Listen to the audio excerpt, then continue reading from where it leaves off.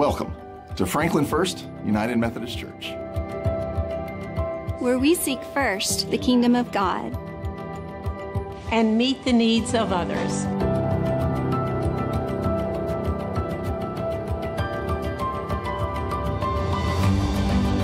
Where hope is grown and spirits are fed.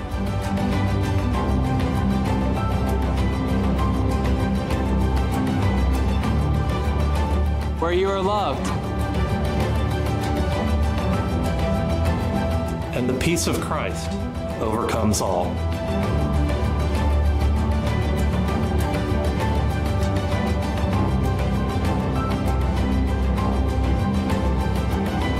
We're so glad you're here. Welcome to worship.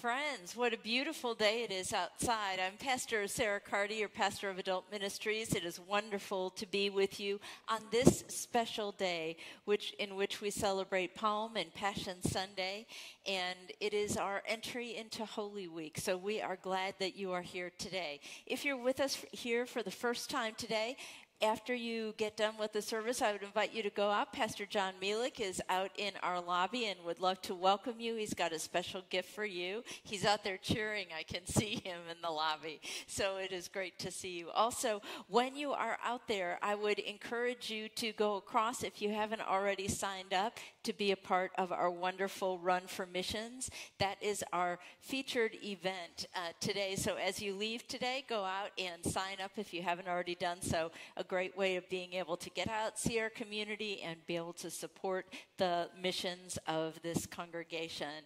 Second, I just wanted to make sure that you are well aware of when all of the different things are happening. For those of you who are joining us online, we also want to invite you to actively participate in the Holy Week services.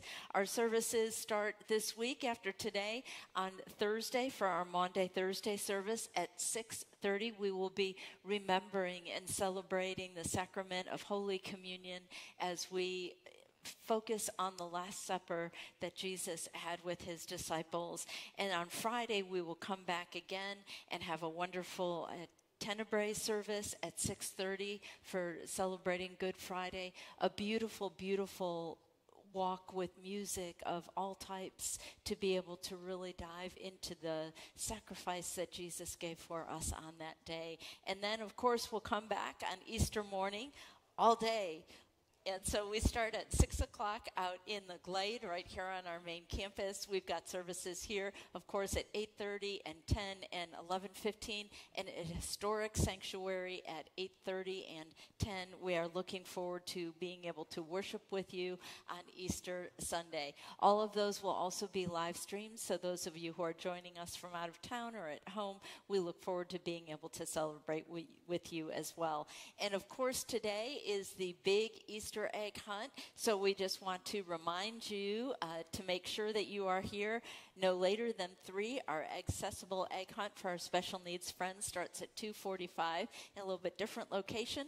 But um, make sure you're here on time because once it starts, it's done in a flash. So we are really excited to be able to join with our community. Please make sure you're bringing your friends, neighbors, uh, to be able to welcome them as we celebrate this wonderful uh, joyous time together as we begin our Holy Week. So, all of the details, as well as a number of things that are happening right after Easter, are in your bulletin that you can find on your church app. All of those things are also online on our website, and we hope that you will take note of all the different things and make sure that you are signing up for them. So, as you take out your church app this morning and you look at the bulletin, we also hope that you will check in uh, with us this morning, either if you're here in person or if you're joining us online. And so now I would just invite you to just take a deep breath in, to breathe in the Holy Spirit, and to set aside all of those things that may have been on your heart and your mind so that we may fully focus our Lord this day as we celebrate Palm and Passion Sunday in spirit and in truth. And so I invite you to begin our worship time together by passing the peace of Christ that he has given to us. And stand and greet your neighbors and pass that peace. Welcome to worship.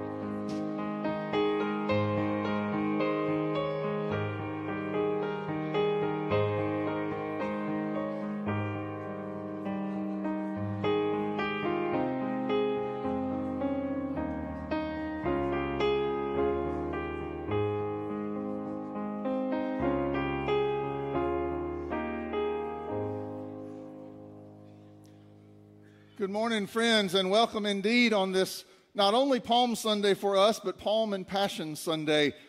Many, many years ago, in the life of not just our church, but the Church of Jesus Christ, many folks recognized the power of hearing the full experience of Christ's last week. Not just the triumphant entry into Jerusalem, but also walking with Jesus all the way through to his betrayal and crucifixion, so that come Easter morning, we would be ready fully to celebrate the power of what Christ has accomplished. So today, with uh, brave hearts, we will walk with Jesus all the way from the morning, uh, from this day of Palm Sunday, all the way to hear the full story of his passion. And we'll say more about that later so that next week we will be ready fully to celebrate uh, Easter morning and the triumph of the risen Christ. To that end, we begin our morning of worship where Christ began this Holy Week with his triumphant entry into Jerusalem. So, to begin with, I'll invite you to stand, and together we will hear from Matthew's Gospel Jesus' triumphant entry into Jerusalem on Palm Sunday. When they had come near Jerusalem and had reached Bethphage at the Mount of Olives, Jesus sent two disciples, saying to them, Go into the village ahead of you, and immediately you will find a donkey tied and a colt with her. Untie them and bring them to me. If anyone says anything to you, just say this The Lord needs them, and he will send them immediately. This took place to fulfill what had been spoken through the prophet, saying, Tell the daughter of Zion, look, your king is coming to you, humble and mounted on a donkey, and on a colt, the foal of a donkey. The disciples went and did as Jesus had directed them. They brought the donkey and the colt and put their cloaks on them, and he sat on them. A very large crowd spread their cloaks on the road, and others cut branches from the trees and spread them on the road. The crowds that went ahead of him and that followed were shouting, Hosanna to the Son of David! Blessed is the one who comes in the name of the Lord! Hosanna in the highest heaven. When he entered into Jerusalem, the whole city was in turmoil, asking, Who is this? The crowds were saying, This is the prophet Jesus from Nazareth in Galilee. This is the word of God for the people of God. Thanks be to God. Friends, we begin our worship with this call to worship to echo the sounds of hosannas from that Palm Sunday. The words of our call to worship will appear. Will you join me? Hosanna to the Son of David. Hosanna in the highest. Blessed is the one who comes in the name of the Lord. Hosanna in the highest. Let's worship and sing together.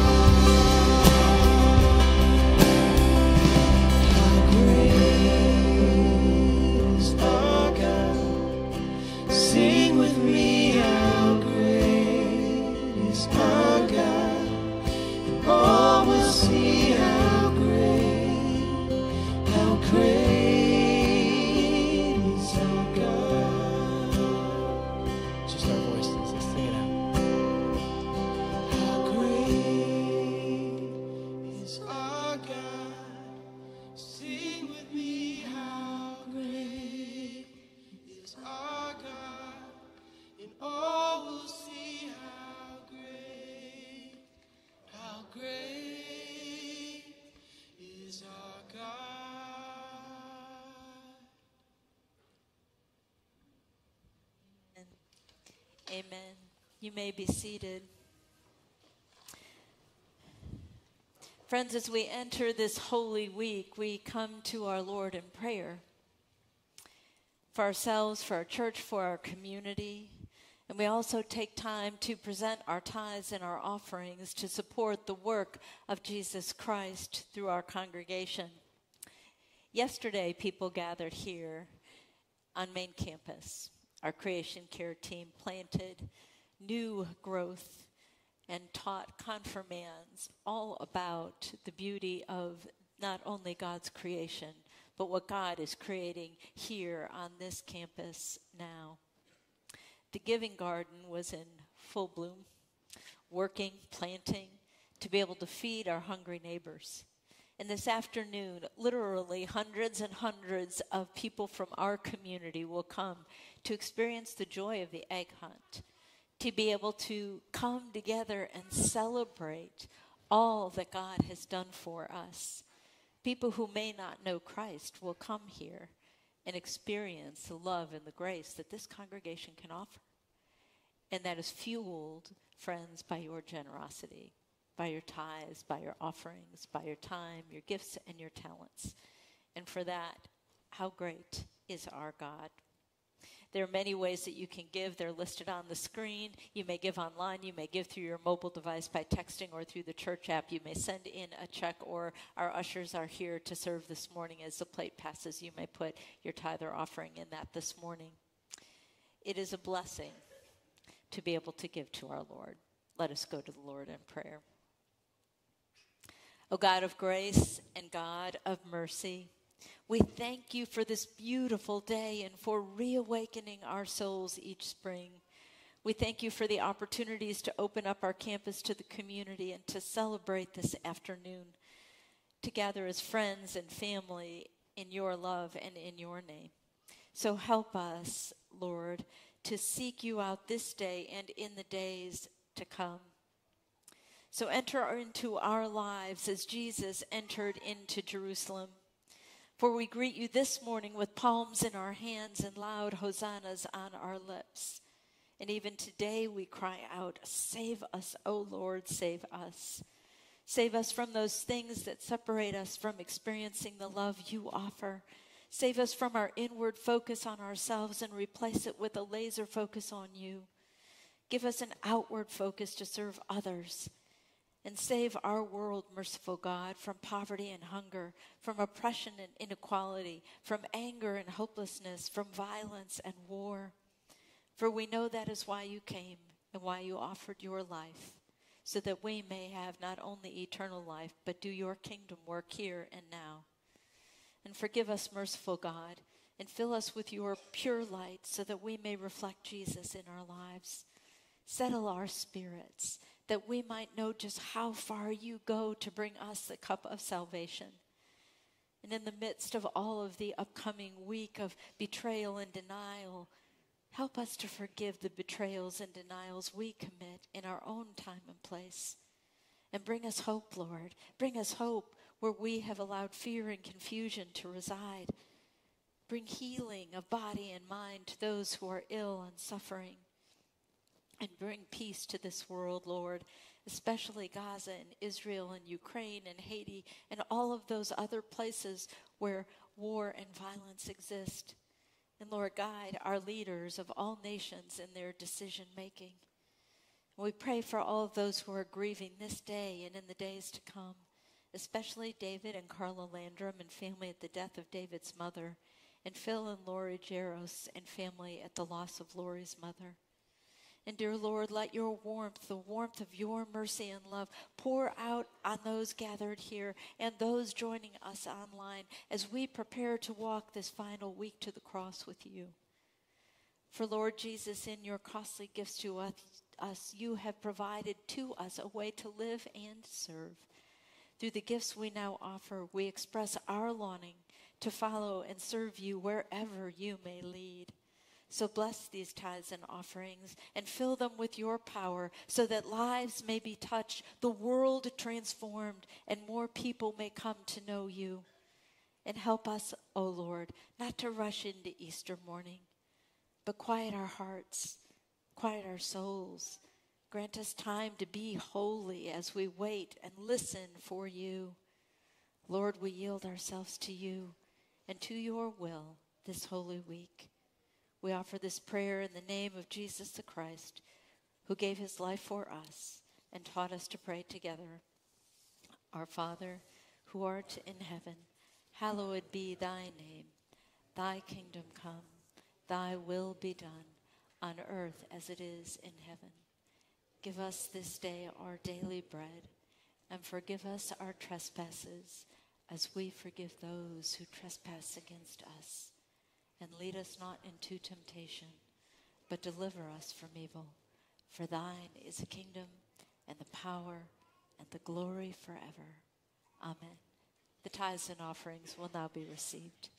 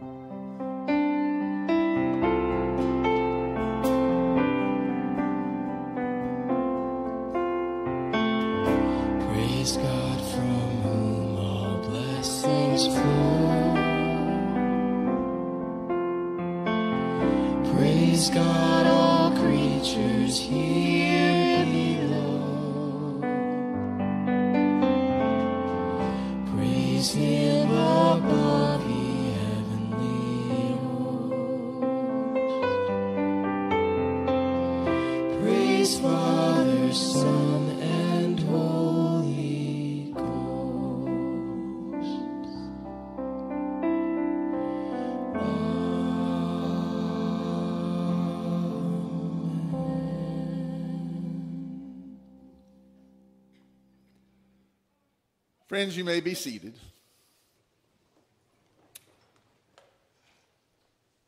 So we've heard the cries of Hosanna. We've waved palm branches as the crowd did that welcomed Jesus on that first Palm Sunday years ago, where he was received as king and conqueror. And those who cried out gave thanks to God that their Savior had arrived. And through the years, the church has recognized that for folks who might come to worship on a Palm Sunday where that was the only focus and hear the joyous cries of Hosanna, and then come the next Sunday for Easter to hear Christ is risen, hallelujah, alleluia, then without any more context in the middle, it could come across that this Jesus fella only has wonderful days. But of course, we know that there's a lot between Palm Sunday and Easter Sunday. Now, it's probably true that there was a time when congregations could count on lots of folks being able to be present for services on Maundy Thursday and Good Friday, and there would fill in the gaps between Palm Sunday and Easter Sunday. And by all means, I hope you can join us. Our worship on Maundy Thursday and on Good Friday will be powerful, I expect. But it's also true as people's lives and weeks have gotten more and more full, the chance of a crucial number of folks being able to attend church two more times during the busy week might be less and less likely. And so, in the collective wisdom of Christ's holy church, there has been an understanding that on the Sunday before Easter, it is appropriate and even very, very meaningful to go with Christ through the whole week. And so that is what we'll do now.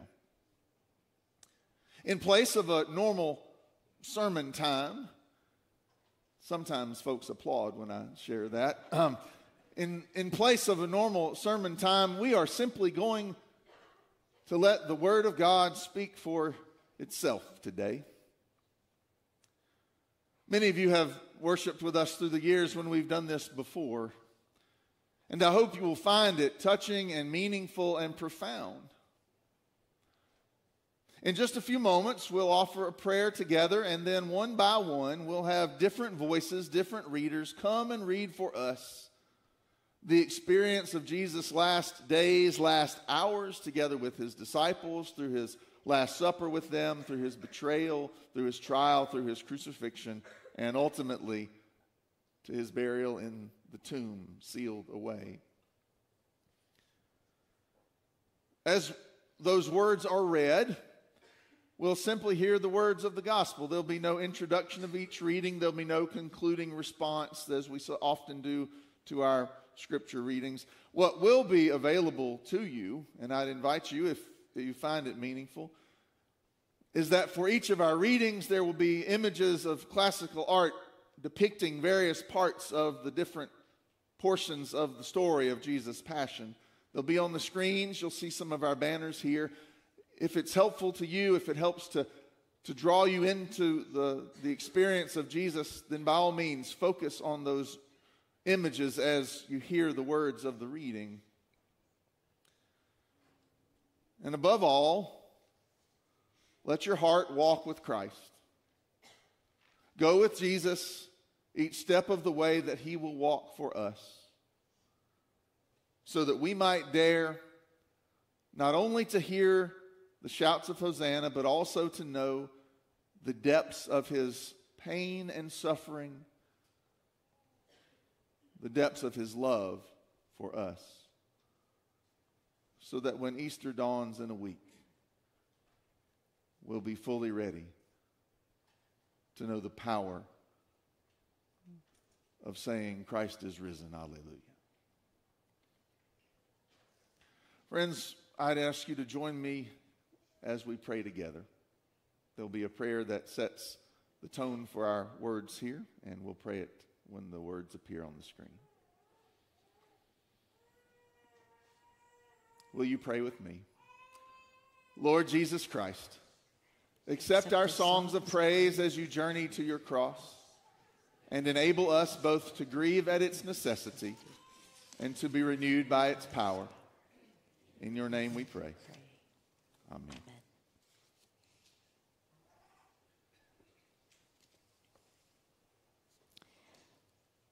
One of the twelve, who was called Judas Iscariot, went to the chief priests and said, What will you give me if I betray him to you?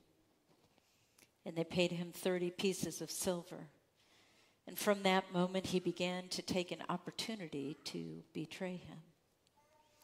On the first day of unleavened bread, the disciples came to Jesus, saying, Where do you want us to make preparations to, for you to eat the Passover? And he said to them, Go to the city to a certain man and say to him, The teacher says, My time is near. I will keep the Passover at your house with my disciples.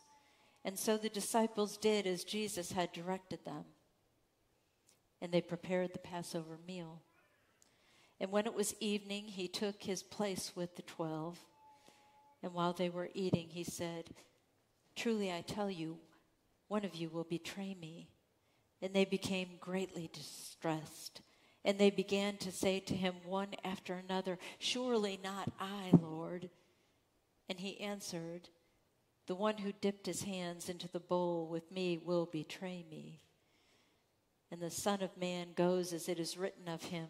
But woe to that one by whom the Son of Man is betrayed. It would have been better for that one not to have been born. And Judas, who betrayed him, said, Surely not I, Rabbi. And he replied, You have said so. And while they were eating, Jesus took a loaf of bread, and after blessing it, he broke it and he gave it to his disciples. And he said, Take, eat, this is my body. And then he took a cup, and after giving thanks, he gave it to them and said, Drink from this, all of you. This is my blood of the covenant, which is poured out for the forgiveness of sins. I tell you, I will never drink of this fruit of the vine until that day when I drink it anew with you in my Father's kingdom. And when they had sung the hymn, they went out to the mount of Olives.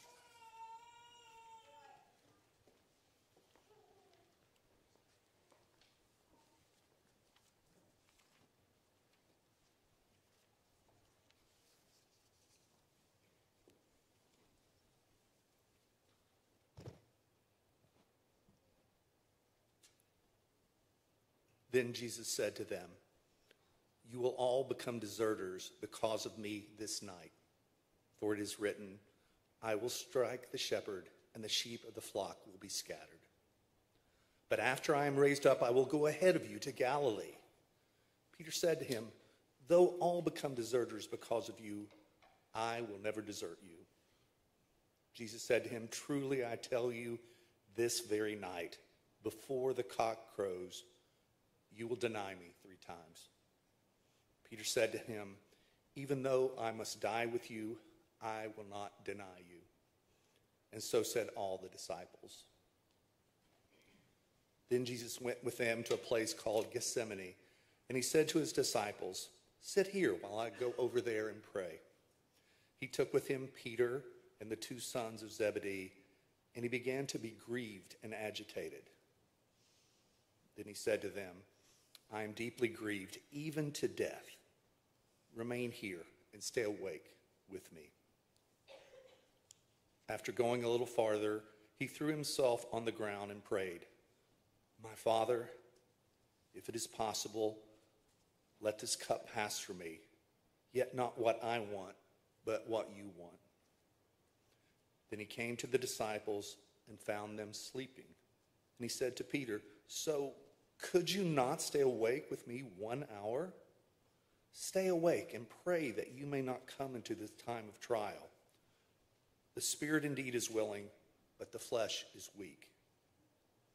Again, he went away and for the second time and prayed, My Father, if this cannot pass unless I drink it, your will be done. Again, he came and found them sleeping, for their eyes were heavy. So, leaving them again, he went away and prayed for the third time, saying the same words. Then he came to the disciples and said to them, Are you still sleeping and taking your rest? See, the hour of the hand of the Son of Man is betrayed into the hands of sinners. Get up, let us be going. See, my betrayer is at hand. While he was still speaking, Judas, one of the twelve, arrived with him, was a large crowd with swords and clubs from the chief priests and the elders of the people. Now the betrayer had given them a sign, saying, The one I will kiss is the man. Arrest him. At once he came to Jesus and said, Greetings, Rabbi, and kissed him. Jesus said to him, Friend, do what you are here to do. Then they came and laid hands on Jesus and arrested him. Suddenly, one of those with Jesus put his hand on his sword, drew it, and struck the slave of the high priest, cutting off his ear. Then Jesus said to him, Put your sword back into its place, for all who take the sword will perish by the sword. Do you think that I cannot appeal to my Father, and he will at once send me more than 12 legions of angels? But how then would the scriptures be fulfilled, which say it must happen in this way? At that hour, Jesus said to the crowds, Have you come out with swords and clubs to arrest me as though I were a bandit? Day after day, I sat in the temple teaching, and you did not arrest me. But all this has taken place so that the scriptures of the prophets may be fulfilled. Then all the disciples deserted him and fled.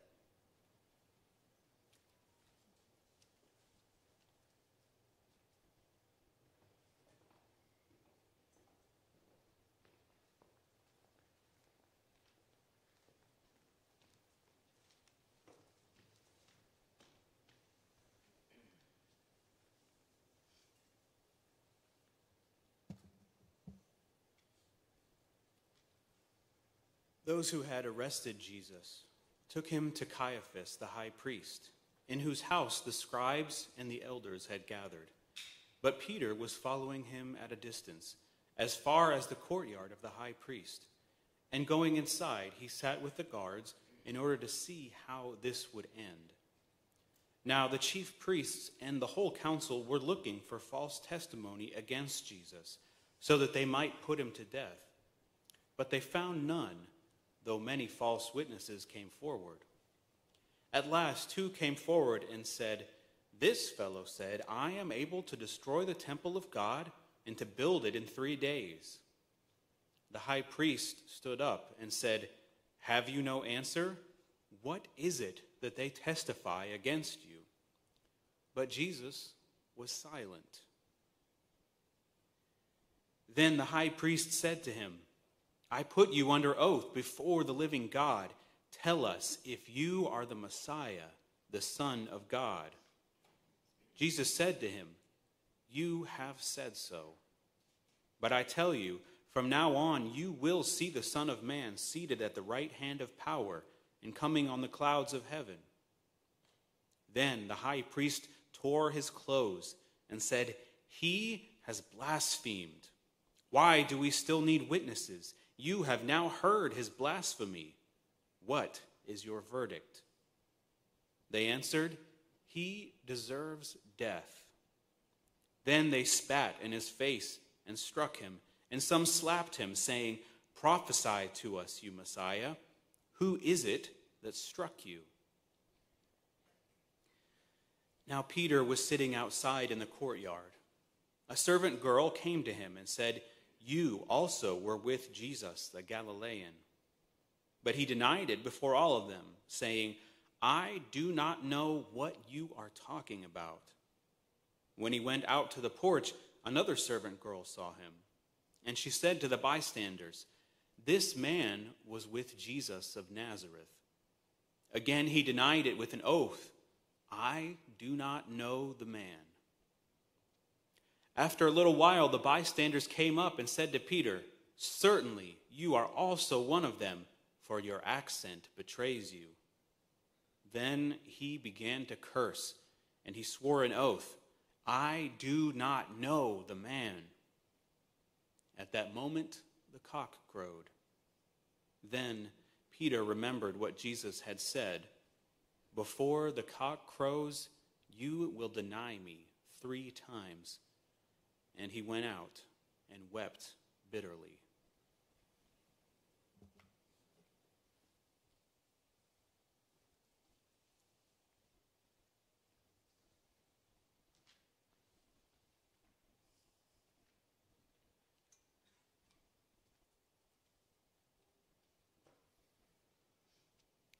When morning came, all the chief priests and the elders of the people conferred together against Jesus in order to bring about his death. They bound him, led him away, and handed him over to Pilate, the governor. When Judas, his betrayer, saw that Jesus was condemned, he repented and brought back the 30 pieces of silver to the chief priests and the elders. He said, I have sinned by betraying innocent blood. But they said, What is that to us? See to it yourself. Throwing down the pieces of silver in the temple, he departed, and he went and hanged himself. But the chief priests, taking the pieces of silver, said, It is not lawful to put them into the treasury, since they are blood money. After conferring together, they used them to buy the potter's field as a place to bury foreigners. For this reason, that field has been called the field of blood to this day. Then was fulfilled what had been spoken through the prophet Jeremiah. And they took the thirty pieces of silver, the price of the one on whom a price had been set, on whom some of the people of Israel had set a price and they gave them for the potter's field, as the Lord commanded me. Now Jesus stood before the governor, and the governor asked him, Are you the king of the Jews? And Jesus said, You say so. But when he was accused by the chief priests and the elders, he did not answer. Then Pilate said to him, Do you not hear how many accusations they make against you? But he gave him no answer, not even to a single charge, so that the governor was greatly amazed. Now, at the festival, the governor was accustomed to release a prisoner for the crowd anyone whom they wanted. At that time, they had a notorious prisoner called Jesus Barabbas. So after they had gathered, Pilate said to them, Whom do you want me to release to you? Jesus Barabbas, or Jesus, who is called the Messiah? For he realized that it was out of jealousy that they had handed him over. While he was sitting on the judgment seat, his wife sent him sent word to him have nothing to do with that innocent man. For today i have suffered a great deal because of a dream about him. Now the chief priests and the elders persuaded the crowds to ask for barabbas and to have jesus killed. The governor again said to them which of the two do you want me to release for you? And they said, Barabbas. Pilate said to them, Then what should I do with Jesus, who is called the Messiah? All of them said, Let him be crucified. Then he asked, Why? What evil has he done? But they shouted all the more, Let him be crucified. So when Pilate saw that he could do nothing, but rather that a riot was beginning, he took some water and washed his hands before the crowd, saying, I am innocent of this man's blood. See to it yourselves. Then the people as a whole answered, His blood be on us and on our children. So he released Barabbas for them and after flogging Jesus, he handed him over to be crucified. Then the soldiers of the governor took Jesus into the governor's headquarters, and they gathered the whole cohort around him. They stripped him and put a scarlet robe on him. And after twisting some thorns into a crown, they put it on his head. They put a reed in his right hand and knelt before him and mocked him, saying, Hail, King of the Jews! They spat on him and took the reed and struck him on the head.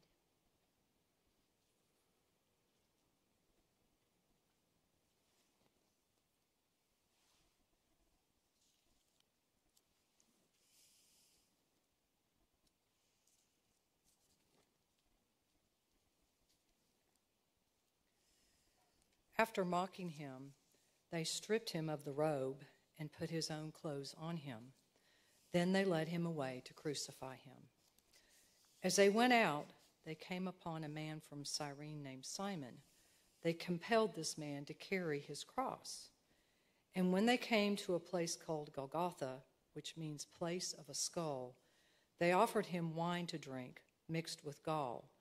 But when he tasted it, he would not drink it. And when they had crucified him, they divided his clothes among themselves by casting lots. Then they sat down there and kept watch over him. Over his head they put the charge against him, which read, This is Jesus, the King of the Jews. Then two bandits were crucified with him, one on his right and one on his left. Those who passed by derided him, shaking their heads and saying, you who would destroy the temple and build it in three days, save yourself. If you are the Son of God, come down from the cross. In the same way, the chief priests also, along with the scribes and elders, were mocking him, saying, He saved others. He cannot save himself. He is the King of Israel. Let him come down from the cross now, and we will believe in him. He trusts in God. Let God deliver him now, if he wants to. For he said, I am God's son.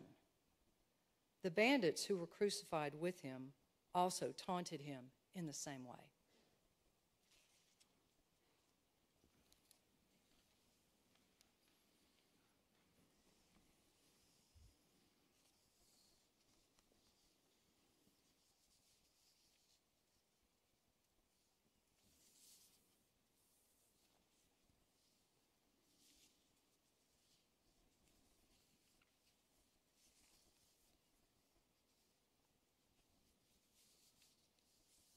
From noon on, darkness came over the whole land until three in the afternoon. And about three o'clock, Jesus cried with a loud voice, Eli, Eli, lema sabachthani. That is, my God, my God, why have you forsaken me? When some of the bystanders heard it, they said, This man is calling for Elijah. At once, one of them ran and got a sponge, filled it with sour wine put it on a stick and gave it to him to drink. But the others said, Wait, let us see whether Elijah will come to save him. Then Jesus cried again with a loud voice and breathed his last. At that moment, the curtain of the temple was torn in two from top to bottom. The earth shook and the rocks were split. The tombs also were opened, and many bodies of the saints who had fallen asleep were raised. After his resurrection, they came out of the tombs and entered the holy city and appeared to many. Now, when the centurion and those with him who were keeping watch over Jesus saw the earthquake and what took place, they were terrified and said, Truly, this man was God's son. Many women were also there looking on from a distance. They had followed Jesus from Galilee and had provided for him. Among them were Mary Magdalene and Mary, the mother of James and Joseph, and the mother of the sons of Zebedee. When it was evening, there came a rich man from Arimathea named Joseph, who was also a disciple of Jesus. He went to Pilate and asked for the body of Jesus. Then Pilate ordered it to be given to him. So Joseph took the body and wrapped it in a clean linen cloth and laid it in his own new tomb, which had been hewn in the rock. He then rolled a great stone to the door of the tomb and went away. Mary Magdalene and the other Mary were there, sitting opposite the tomb. The next day, that is, after the preparation, the chief priests and the Pharisees gathered before Pilate and said, Sir, we remember what that impostor said while he was still alive. After three days I will rise again. Therefore, command the tomb to be made secure until the third day. Otherwise, his disciples may go and steal him away and tell the people, He has been raised from the dead and the last deception would be worse than the first. Pilate said to them, You have a guard of soldiers. Go. Make it as secure as you can. So they went with the guard and made the tomb secure by sealing the stone.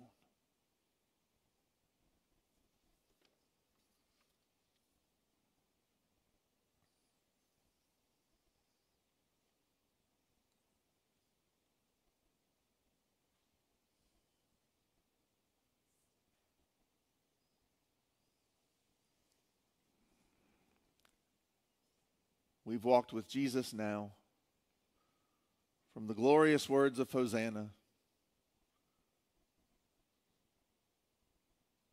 to the desolation of a tomb sealed and guarded. And there we'll wait with him for the morning. May the depth of Jesus' love guide us this Holy Week as we prepare for the glory we know awaits on Easter. In gratitude to God for his great gift in Jesus Christ, we affirm our faith with the words of the Apostles' Creed.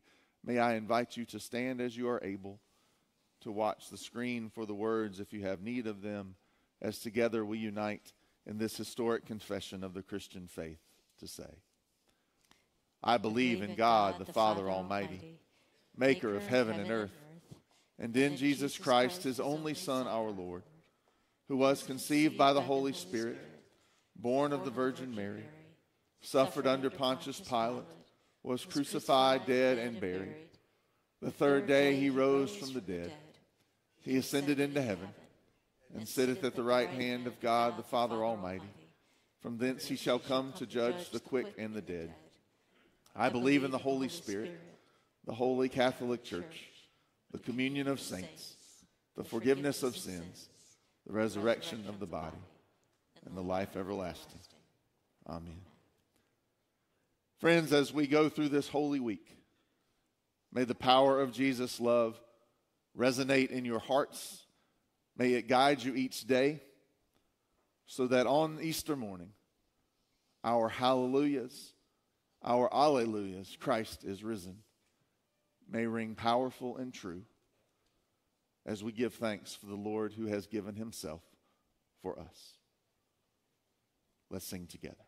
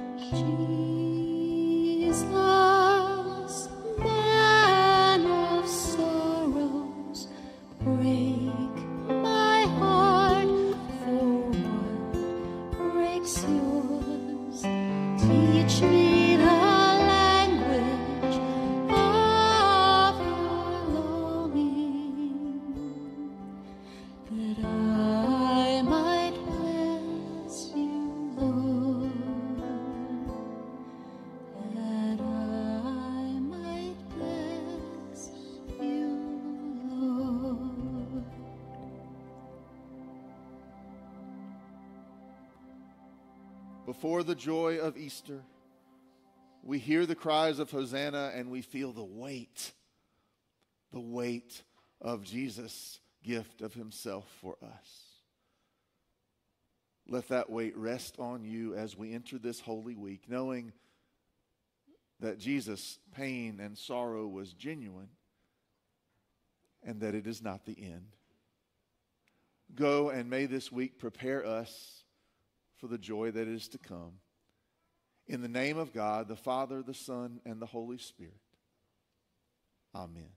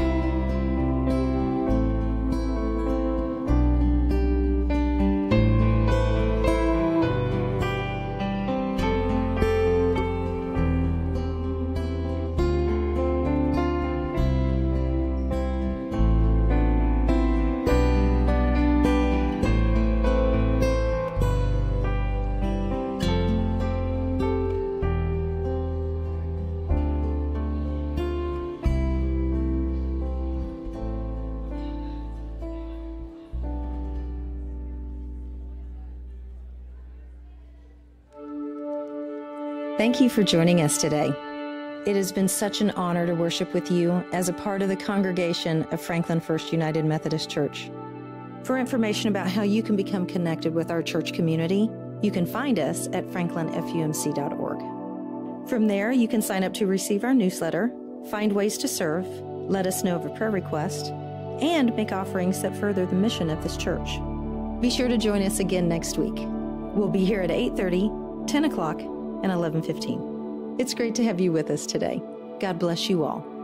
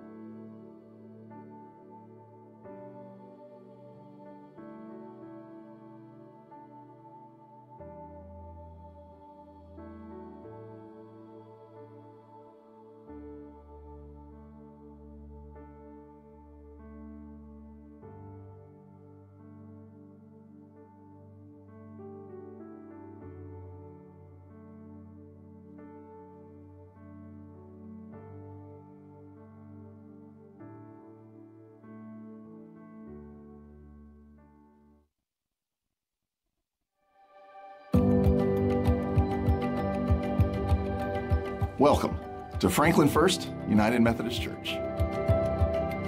where we seek first the kingdom of God and meet the needs of others.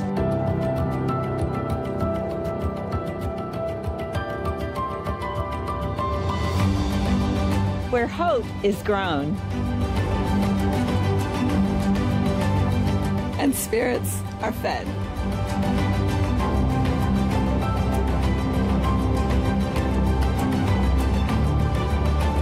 Where you are loved.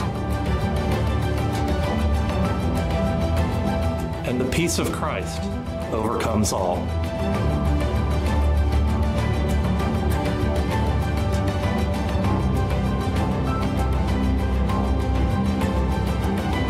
We're so glad you're here. Welcome to worship.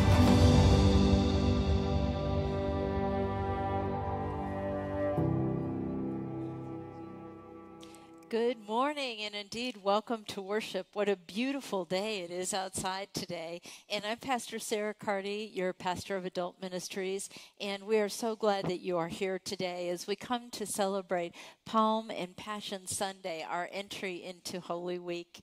So, if you're here with us for the first time, the service is a little bit different today, but we are so glad that you can participate in it with us. So, I'm going to encourage you all, if you're first time visitors, and you haven't had a chance to check in and meet with Pastor uh, John out in the lobby, to do so as you exit worship today. There's a big welcome tower, and we have a special gift that we have for you. And if you're joining us online, we encourage you to just type in the word coffee in the chat, and our online host will have a special greeting for you as well. And we invite you to, usually we don't ask you to take out your phones, but uh, we would encourage you to do that and download the worship bulletin. You can uh, give your tithe and offering and leave a prayer request by using that. And also, it has an opportunity for you to check into worship if you were not able to do so before you came into worship this morning. We have many things going on this week in worship and in worship services throughout the week, and I wanted to highlight a few of those for you today. And first of all, when you leave today, if you didn't have a chance when you came in, there's a special mission event that you can see, and that is our Run for Mission. It'll be happening on the 14th of April. It is our big fundraiser for our supporting our missions, and we hope that you will take part in it. You can walk, you can run, or you can just cheer everybody on. But we hope that we you will join us for that special day. You can sign up right across the hall um, today and also online. We have a number of worship services this week we want to draw your attention to. And the first during Holy Week is our Maundy Thursday service, and that will be a service of communion right here, 6:30, uh, right here in this very space. It is also available to be live streamed for you. We'll be celebrating the Last Supper and the wonderful holy meal of communion on that day. And then on Friday, we will be having our Good Friday uh, Tenebrae service at 6.30 right here in Wesley Hall and main campus. It will also be live streamed. It will be a beautiful, beautiful worship experience full of a variety of different uh, musical uh, accompanists and our wonderful choir. It will be just beautiful, and we hope that you will share in that high and holy day when Jesus gave so much to us. So both campuses here, right here, both times 6:30 for those services, and then of course next Sunday we want you to join us for Easter, and we will be having services uh, on at six o'clock at the Glade for our sunrise service. At 8:30 and 10 at Historic, and our regular worship hours right here on main campus, 8:30, 10, and 11:15. We hope that you will join us for one or as many services as you wish as we celebrate next week. And lastly, wanted to remind you today we have the glorious uh, opportunity at 3 o'clock today to come back to, to our campus here for our Easter egg hunt. It is the Easter egg hunt. So you want to be here. Make sure you come on time uh, because, you know, once the hunt has happened, it's like locusts that come across the fields. So please make sure you're here on time. Our accessible egg hunt for our special needs families will be uh, at 2:45 for those who have made reservations. So we hope to see you. Please make sure you're bringing friends, neighbors, family members to come and celebrate the joy this afternoon. There are many other opportunities right post Easter, so we hope that you will be mindful of looking at those in your church bulletin and also on the website. There are a number of um, events happening right that week after Easter, so we want to make sure that you sign up for those, and you can find all that information on the app or online. And so now I would invite you to prepare your hearts for worship. So to take a deep breath in, to breathe in the Holy Spirit, and to leave your cares and concerns, all those things that you brought into worship, set them aside for this time, this hour, as we come to worship our Lord in spirit and in truth. And to begin our worship this morning, I would invite you to stand to pass the peace of Christ with one another. Welcome to worship.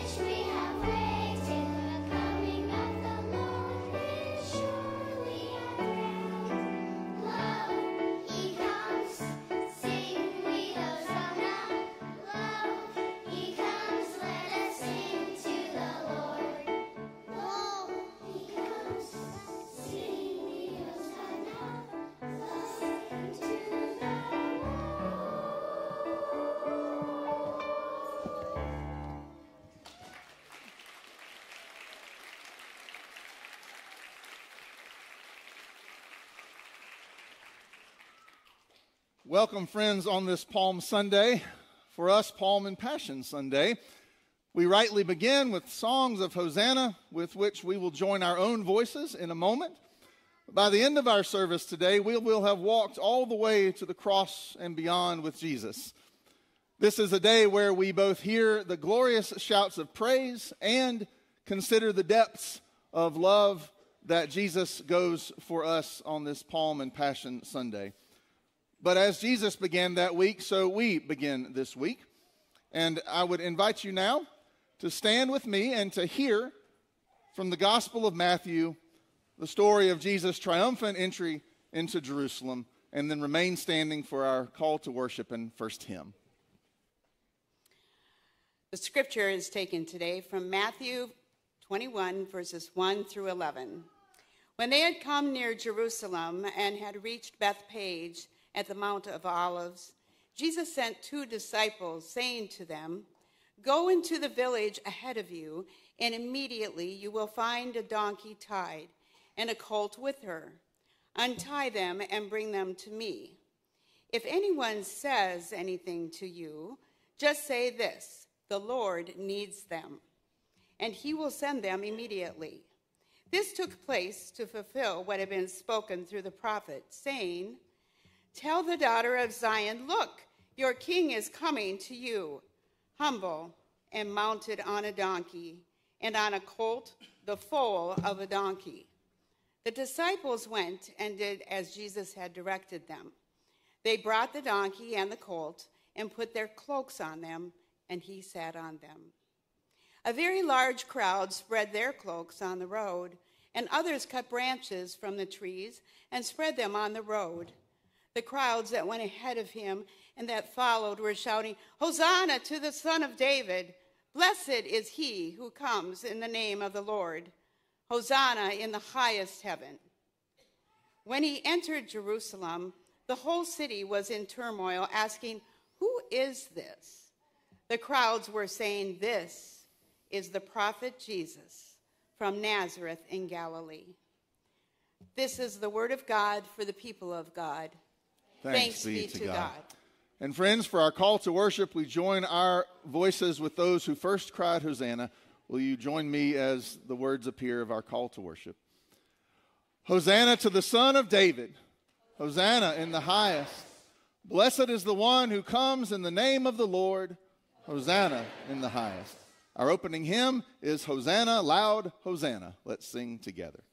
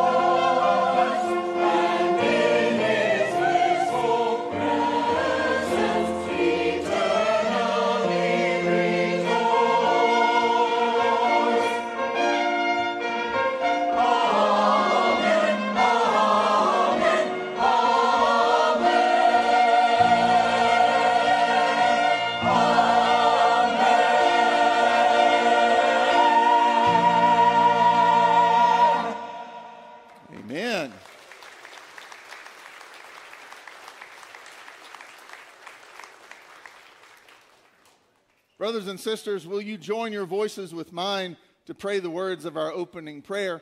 Again, the words will be on the screen. We pray together on this Palm and Passion Sunday and say, Almighty God, on this day your Son, Jesus Christ, entered the holy city of Jerusalem and was proclaimed king by those who spread their garments and palm branches along his way. May we too hail him as our Lord and King and follow him in the way that leads to eternal life. In his name we pray. Amen. Our hymn is All Glory, Laud, and Honor. We'll sing verses 1, 3, and 4. Let us sing together.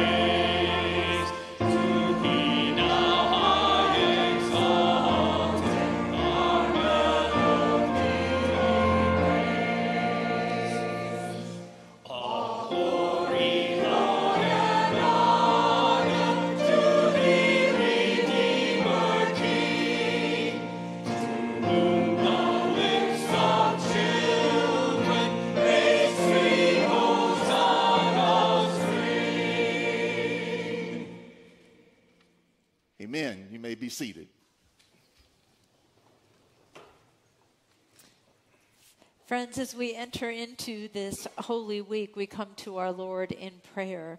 Prayer for ourselves, for our church, for our community, and for the world. We also take time to present our tithes and offerings for the work of Jesus Christ through our congregation. There are many ways that you can give your tithes and offerings. They're listed on the sc- screen. You may give online by texting or using your church app on your mobile device through the envelope uh, by sending it in in the mail, or our ushers are here this morning as, to pass the offering plates as they go by. You could put it in those as well. Know that as there are many ways that you can give, that your work is doing God's work in this world each time that you give through your generosity. It fuels the ministries not only to affect this congregation, but throughout the world. So I would ask that you would bow your heads in prayer with me so we can bring our prayers and petitions to the Lord and bless that which we bring. Let us pray. O God of grace and God of mercy, we thank you for this beautiful day and for reawakening our souls each spring. We thank you for the opportunity to open up our campus to the community to celebrate you this afternoon at the Easter egg hunt, where friends and families will gather in your love and in your name.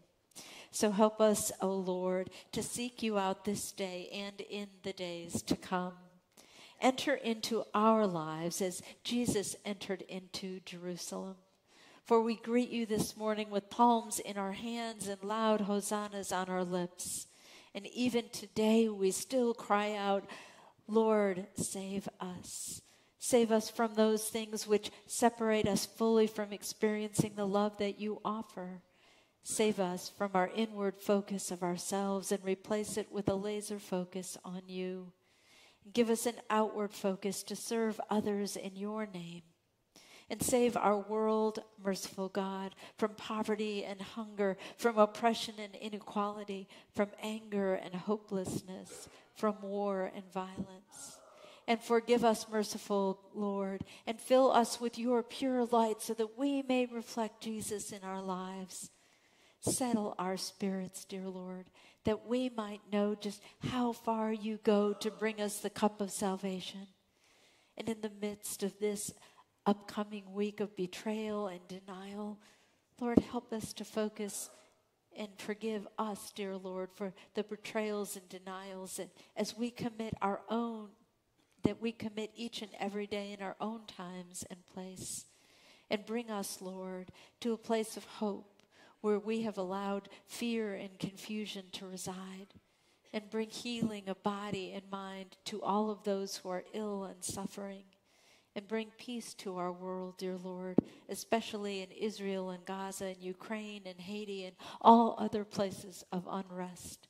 And guide our leaders and leaders of all nations, Lord, in their decision making so that peace might be more than just a dream. And we pray, dear Lord, for all who are grieving, especially David and Carla Landrum and family at the death of David's father, and Phil and Lori Jaros and family at the loss of Lori's mother. And dear Lord, we ask that you would let the warmth of your mercy and your love pour over us here and those who are joining us online as we prepare to walk this final week of the cross with you. Lord Jesus Christ, in your costly gift to us, you have provided us a way to live and serve. So through the gifts that we now offer, we express our longing to follow and serve you wherever you go. Bless these tithes and offerings and fill them with your power so that lives may be touched, the world may be transformed, and more people may come to know you. So help us, Lord, not to rush to Easter morning. And quiet our hearts, quiet our souls, and grant us time to be holy as we wait and listen for you. We yield ourselves to you and to your will this holy week. We offer this prayer in the holy name of Jesus the Christ, who gave his life for us and taught us to pray together. Our Father, who art in heaven, hallowed be thy name. Thy kingdom come, thy will be done, on earth as it is in heaven. Give us this day our daily bread, and forgive us our trespasses as we forgive those who trespass against us. And lead us not into temptation, but deliver us from evil. For thine is the kingdom, and the power, and the glory forever. Amen. The tithes and offerings will now be received.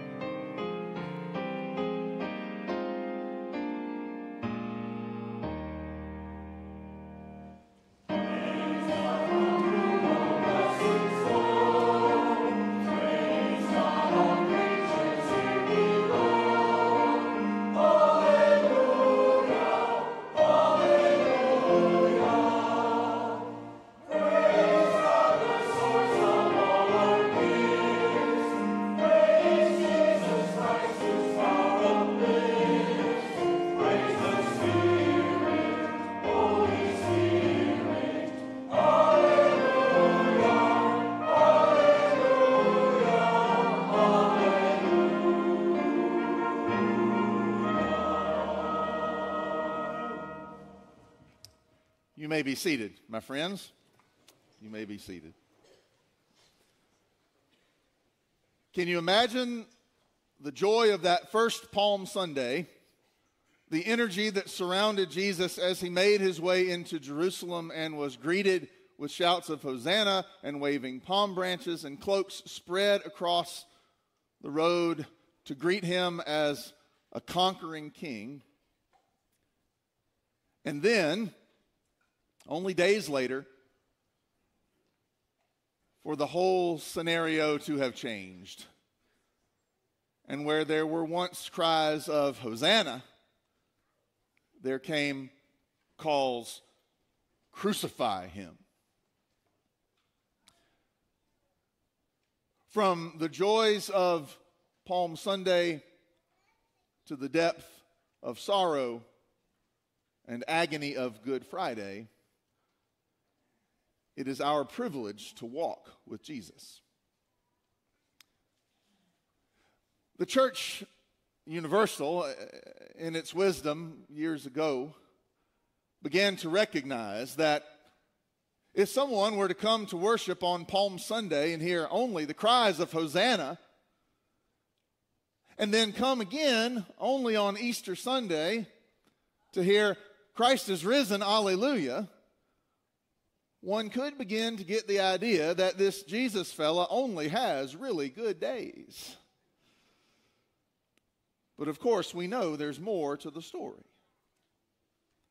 There likely was once a time when the world and life was not so busy, and you could expect reasonably that many, many folks who worshiped on Palm Sunday would be able also to worship on Maundy Thursday and Good Friday before Easter to fill in the rest of Jesus' week.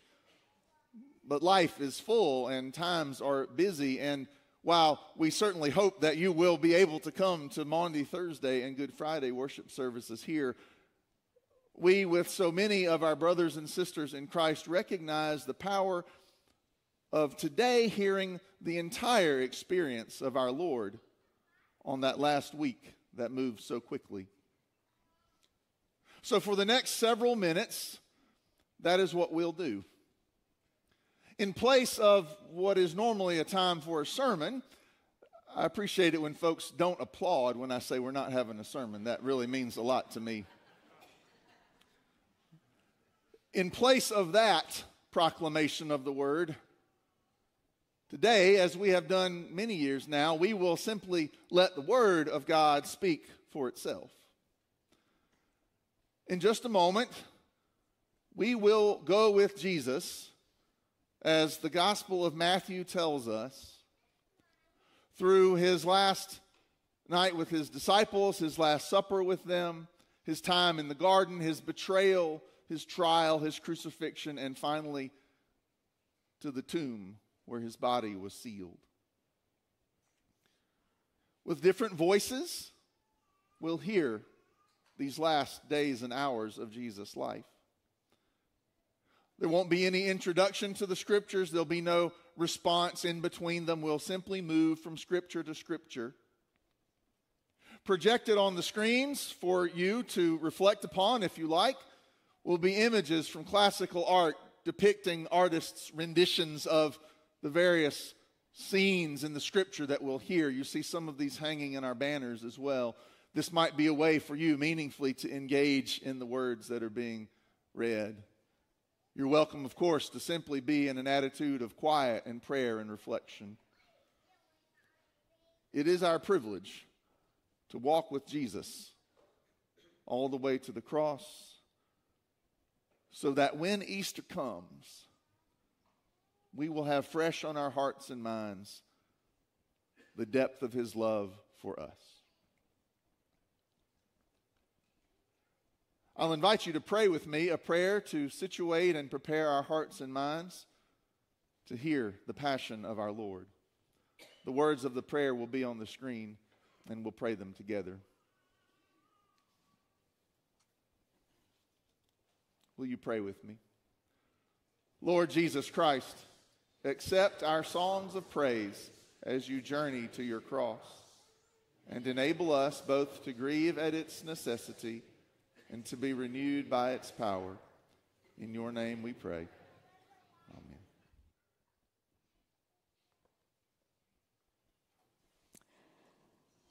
One of the twelve, who was called Judas Iscariot, went to the chief priest and said, What will you give me if I betray him to you? They paid him 30 pieces of silver. And from that moment, he began to look for an opportunity to betray him. On the first day of unleavened bread, the disciples came to Jesus and said, Where do you want us to make preparations for you to eat the Passover? And he said, Go to the city to a certain man and say to him, The teacher says, My time is near. I will keep the Passover at your house with my disciples. So the disciples did as Jesus directed them, and they prepared the Passover meal. And when it was evening, he took his place with the twelve, and while they were eating, he said, Truly I tell you, one of you will betray me.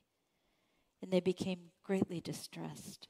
And they began to say to him one after another, Surely not I, Lord.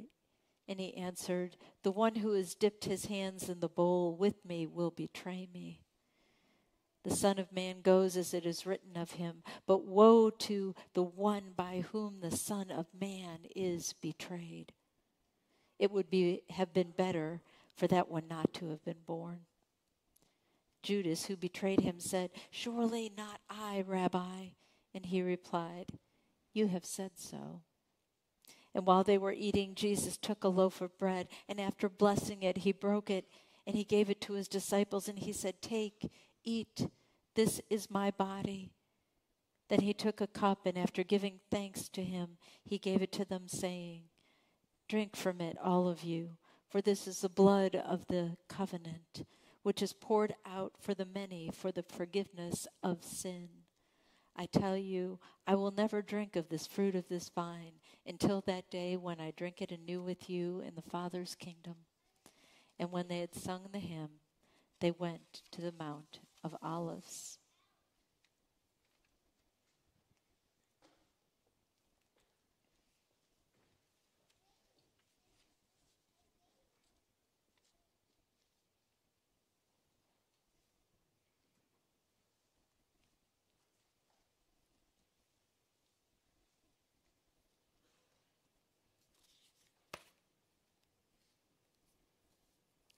Then Jesus said to them, You will all become deserters because of me this night.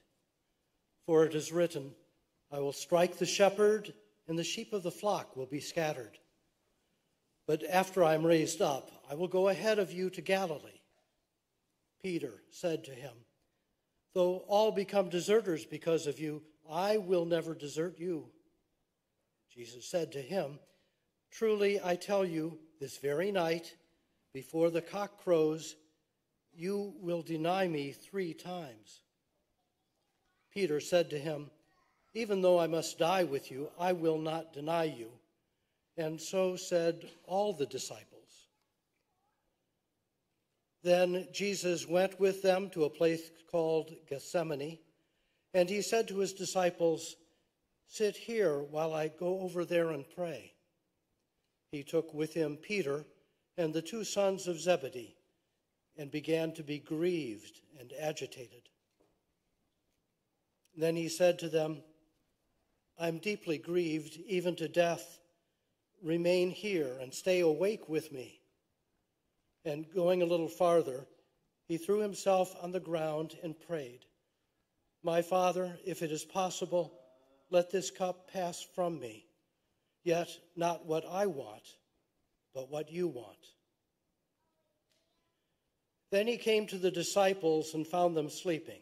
And he said to Peter, So could you not stay awake with me one hour? Stay awake and pray that you may not come into the time of trial.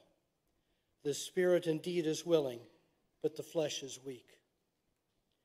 Again, he went away for the second time and prayed, My Father, if this cannot pass unless I drink it, your will be done. Again, he came and found them sleeping, for their eyes were heavy. So, leaving them again, he went away and prayed for the third time, saying the same words. Then he came to the disciples and said to them, Are you still sleeping and taking your rest? See, the hour is at hand, and the Son of Man is betrayed into the hands of sinners. Get up, let us be going. See, my betrayer is at hand. While he was still speaking, Judas, one of the twelve, arrived. With him was a large crowd with swords and clubs from the chief priests and the elders of the people. Now, the betrayer had given them a sign, saying, The one I will kiss is the man. Arrest him. At once he came up to Jesus and said, Greetings, Rabbi, and kissed him. Jesus said to him, Friend, do what you're here to do. Then they came and laid hands on Jesus and arrested him. Suddenly, one of those with Jesus put his hand on his sword, drew it, and struck the slave of the high priest, cutting off his ear. Then Jesus said to him, Put your sword back into its place, for all who take the sword will perish by the sword. Do you think that I cannot appeal to my Father, and he will at once send me more than 12 legions of angels? But how then would the scriptures be fulfilled, which say it must happen in this way? At that hour, Jesus said to the crowds, Have you come out with swords and clubs to arrest me as though I were a bandit? Day after day I sat in the temple teaching, and you did not arrest me. But all this has taken place so that the scriptures of the prophets may be fulfilled. Then all the disciples deserted him and fled.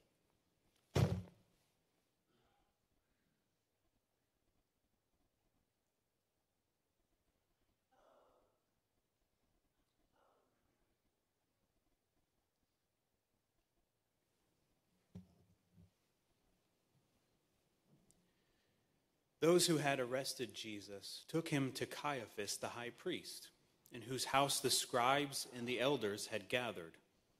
But Peter was following him at a distance, as far as the courtyard of the high priest. And going inside, he sat with the guards in order to see how this would end. Now the chief priests and the whole council were looking for false testimony against Jesus so that they might put him to death. But they found none, though many false witnesses came forward. At least two came forward and said, This fellow said, I am able to destroy the temple of God and to build it in three days. The high priest stood up and said, Have you no answer? What is it that they testify against you? But Jesus was silent. Then the high priest said to him, I put you under oath before the living God. Tell us if you are the Messiah, the Son of God. Jesus said to him, You have said so. But I tell you, from now on you will see the Son of Man seated at the right hand of power and coming on the clouds of heaven. Then the high priest tore his clothes and said, He has blasphemed.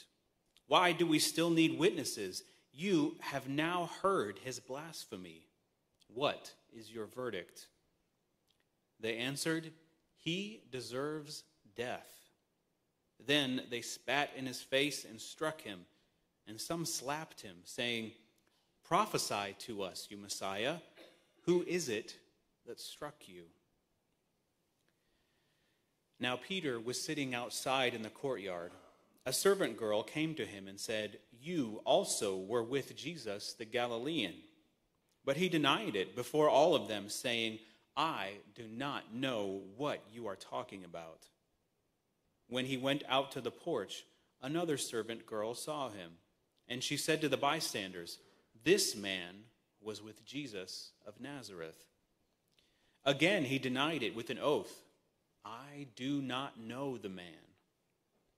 After a little while, the bystanders came up and said to Peter, Certainly you are also one of them, for your accent betrays you. Then he began to curse, and he swore an oath I do not know the man.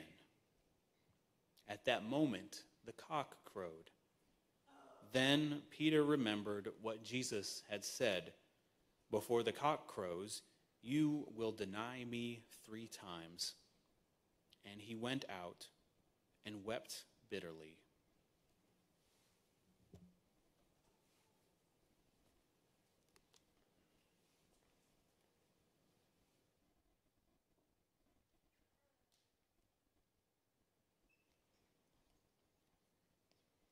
When morning came, all the chief priests and the elders of the people conferred together against Jesus in order to bring about his death. They bound him, led him away, and handed him over to Pilate the governor. When Judas, his betrayer, saw that Jesus was condemned, he repented and brought back the thirty pieces of silver to the chief priest and the elders. He said, I have sinned by betraying innocent blood. But they said, What is that to us? See to it yourself. Throwing down the pieces of silver in the temple, he departed, and he went and hanged himself.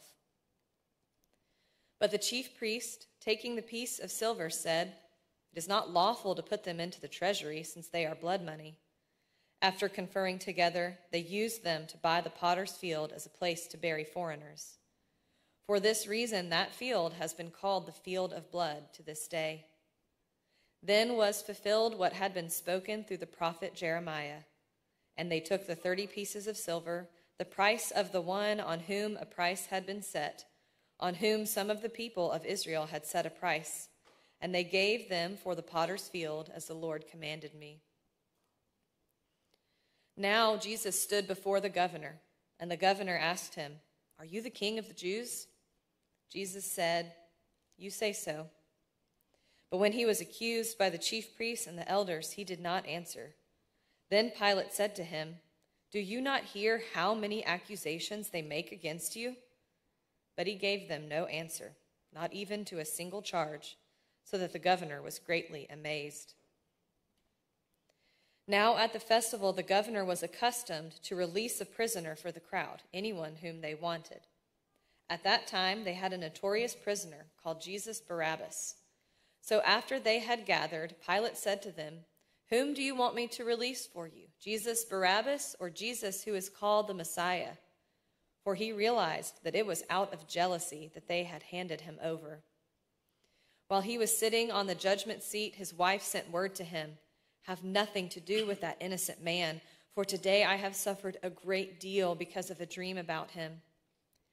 Now the chief priest and the elders persuaded the crowds to ask for Barabbas and to have Jesus killed. The governor again said to them, Which of the two do you want me to release for you? And they said, Barabbas. Pilate said to them, Then what should I do with Jesus who is called the Messiah? All of them said, Let him be crucified. Then he asked them, Why? What evil has he done? But they shouted all the more, Let him be crucified. So when Pilate saw that he could do nothing, but rather that a riot was beginning, he took some water and washed his hands before the crowd, saying, I am innocent of this man's blood. See to it yourselves. Then the people as a whole answered, His blood be on us and on our children. So he released Barabbas for them, and after flogging Jesus, he handed him over to be crucified. Then the soldiers of the governor took Jesus into the governor's headquarters, and they gathered the whole cohort around him. They stripped him and put a scarlet robe on him, and after twisting some thorns into a crown, they put it on his head. They put a reed in his right hand and knelt before him and mocked him, saying, Hail, King of the Jews! They spat on him and took the reed and struck him on the head.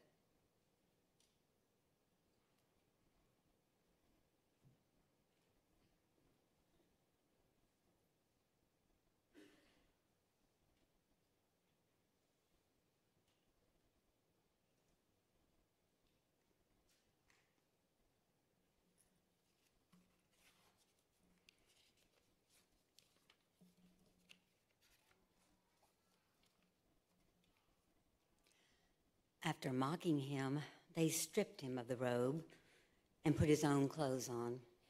Then they led him away to crucify him. As they went out, they came upon a man from Cyrene named Simon. They compelled this man to carry his cross.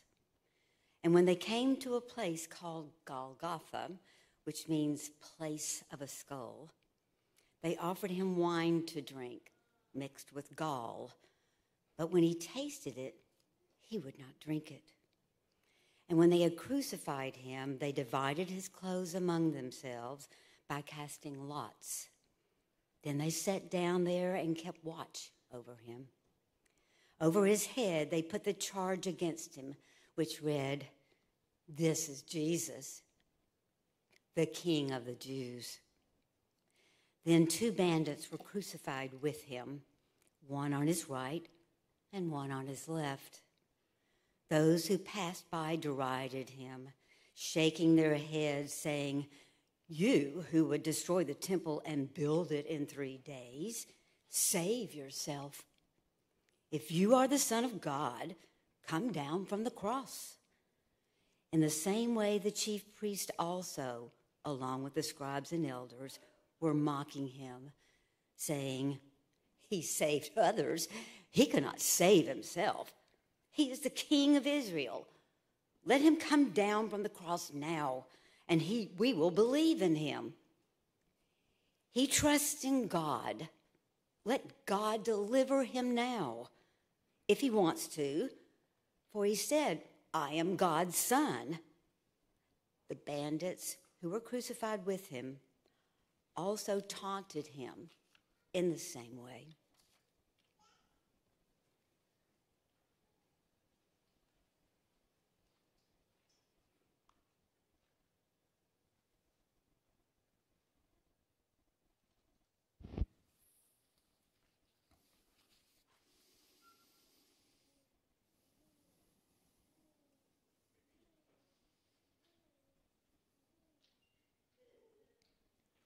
From noon on, darkness came over the whole land until three in the afternoon.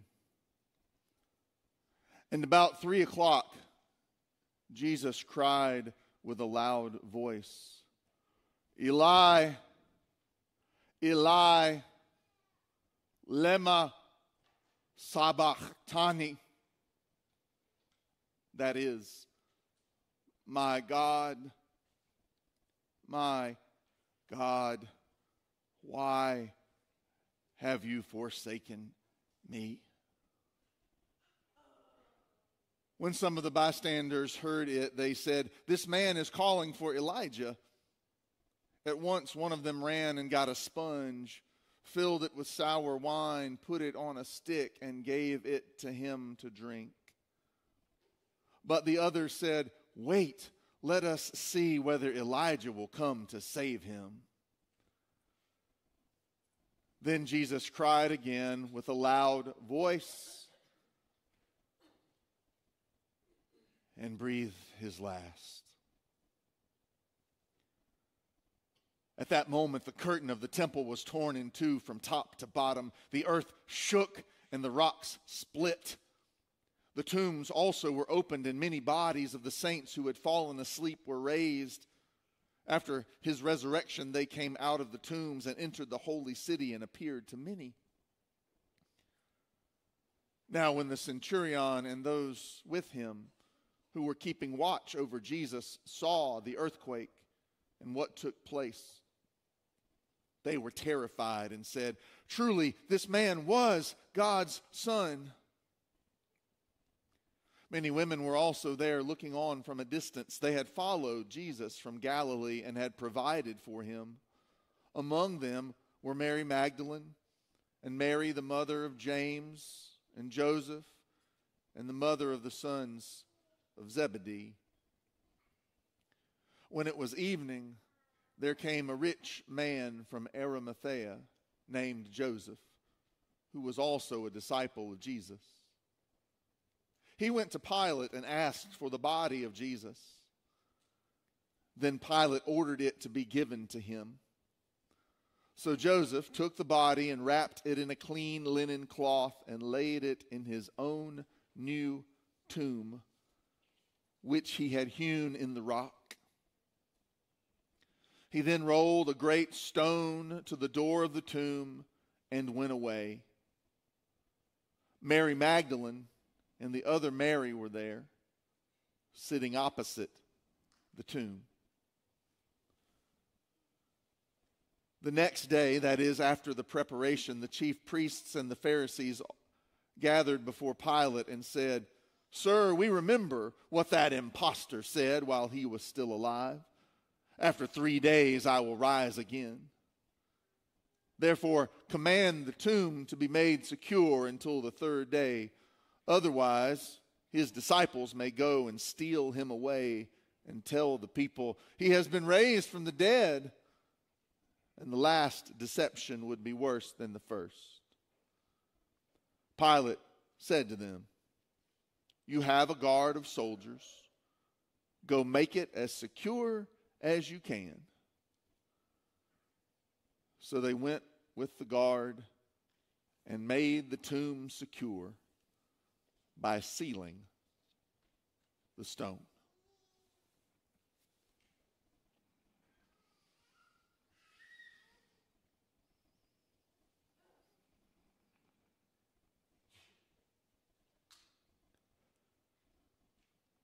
From the cries of Hosanna to the silence and desolation of, an, of a tomb sealed, the body of Jesus inside.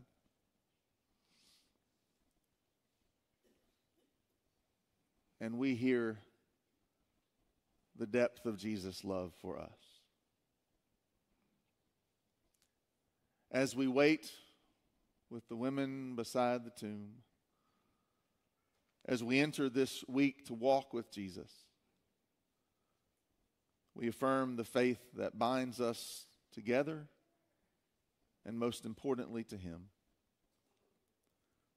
We speak this faith with the words of the Apostles' Creed, which I'll invite you to join me in as you are able. Would you stand?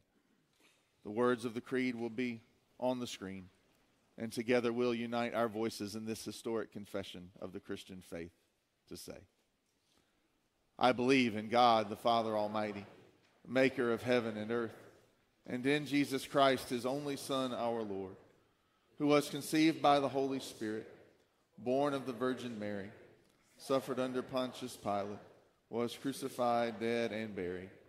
The third day he rose from the dead. He ascended into heaven and sitteth at the right hand of God the Father Almighty. From thence he shall come to judge the quick and the dead. I believe in the Holy Spirit, the holy Catholic Church, the communion of saints, the forgiveness of sins, the resurrection of the body, and the life everlasting.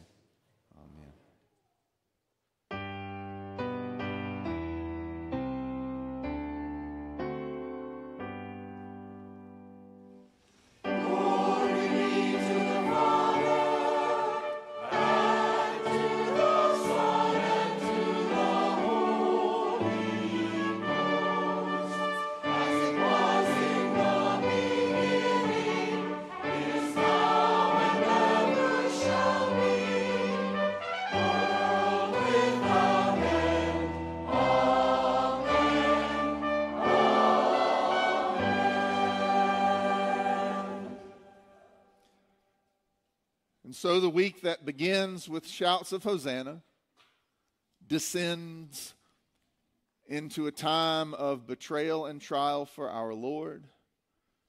And he walks every step of the way for us. In obedience to his Father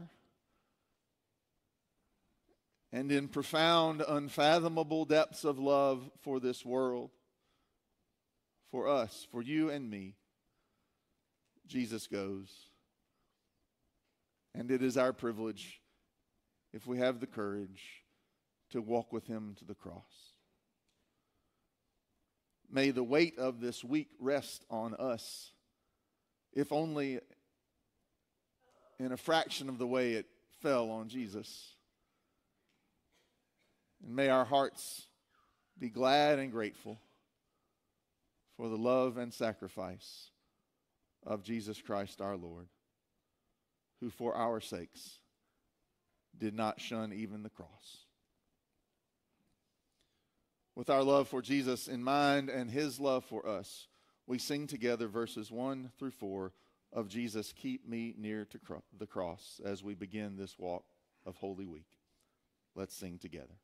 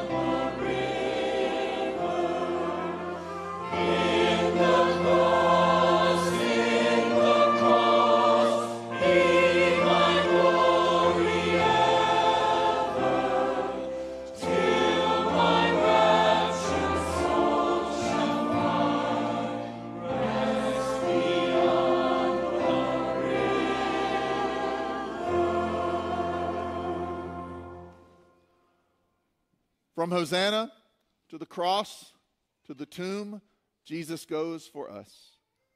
In gratitude and love, we go into the world in his name. Go and be blessed this holy week as we walk with Jesus. In the name of God, the Father, the Son, and the Holy Spirit. Amen.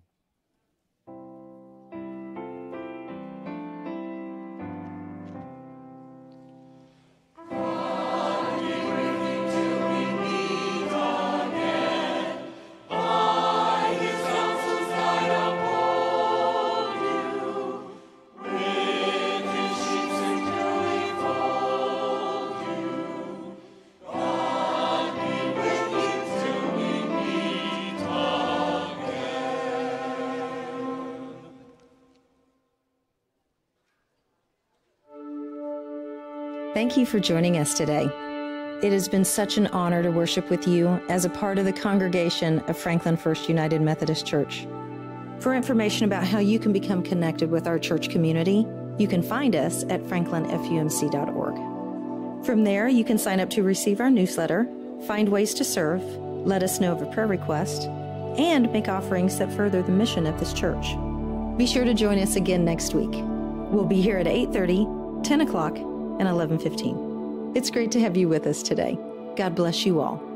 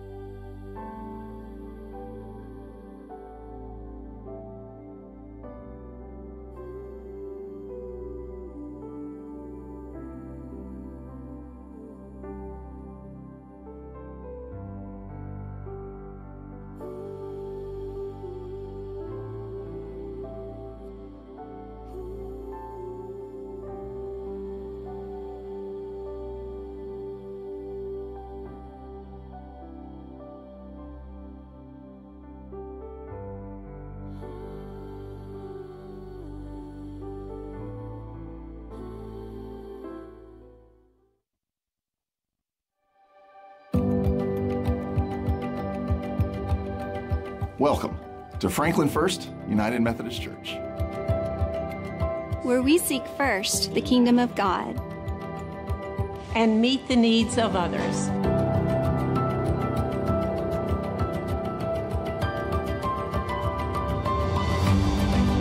Where hope is grown and spirits are fed.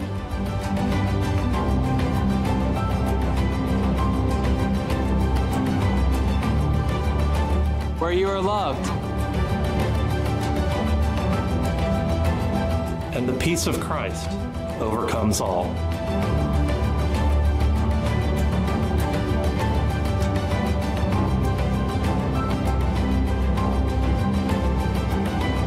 We're so glad you're here. Welcome to worship.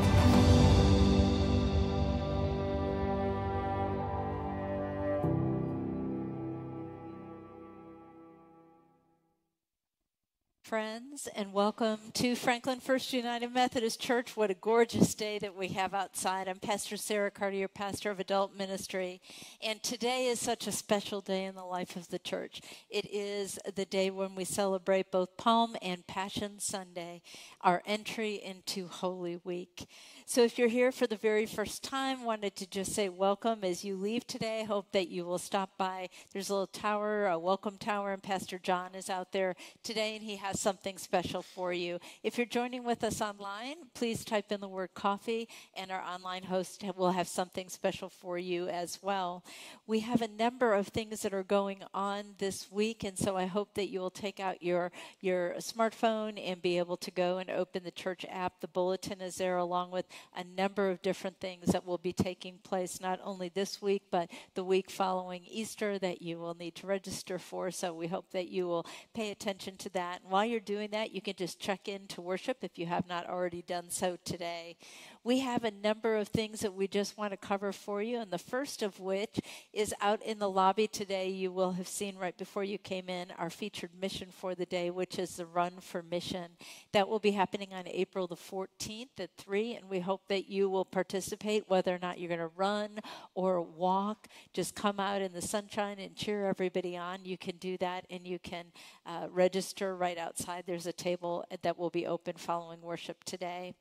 Second, we hope that you will be joining us for all of the different worship services that will be happening this Holy Week. And the first of that will be on Thursday for Maundy Thursday, a day where we will celebrate uh, the Eucharist, Holy Communion, as we come together to really take a focus on the Last Supper that Jesus had with his disciples. That will be right here on main campus in Wesley Hall at 6:30.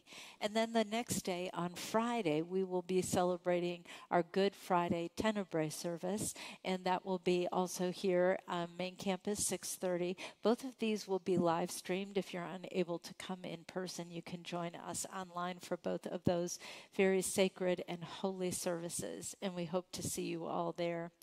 And then today, you will want to come and have some joy for Holy Week. And we're going to be kicking that off today with the Easter egg hunt, which starts here at 3 o'clock. This is a great opportunity for you to invite your neighbors, bring your family, any friends that you have that have young children. The accessible egg hunt, which will be at 245, which is geared for our friends with special needs. And then at 3 o'clock, we'll be having it right out here. So make sure you're on time because the people are kind of like locusts. You know, they come in and once it's over, then there are no more eggs. So we want to make sure that you are here um, for that today beginning at 3. So there are details, as I said, all of these things you can find in your church bulletin or app, as well as going online. We hope that you will join us for all of these events as we celebrate this wonderful Holy Week.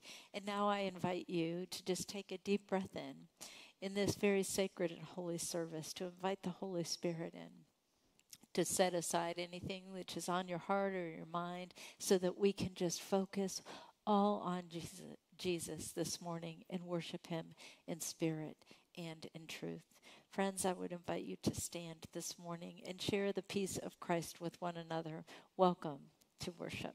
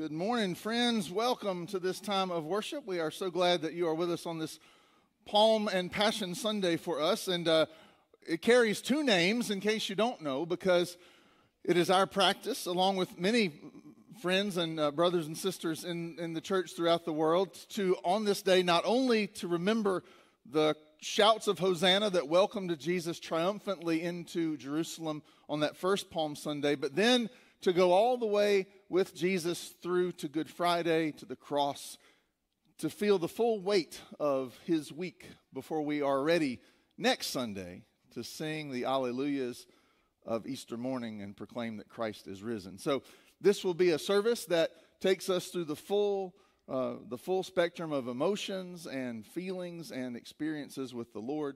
We'll have a chance to hear from the words of Scripture themselves what Jesus' last week and days were like leading up to the crucifixion, and that will, for us, shape the week ahead and hopefully make for an even more meaningful and profound Easter. We begin by hearing the story of Palm Sunday itself and Jesus' triumphant entry into Jerusalem as conveyed to us by the Gospel of Matthew. So, may I invite you to stand as you are able to watch with me as I read these words and as we begin our celebration of Palm Sunday to begin. When they had come near Jerusalem and had reached Bethphage at the Mount of Olives, Jesus sent two disciples, saying to them, Go into the village ahead of you and immediately you will find a donkey tied and a colt with her. Untie them and bring them to me. If anyone says anything to you, just say this The Lord needs them. And he will send them immediately.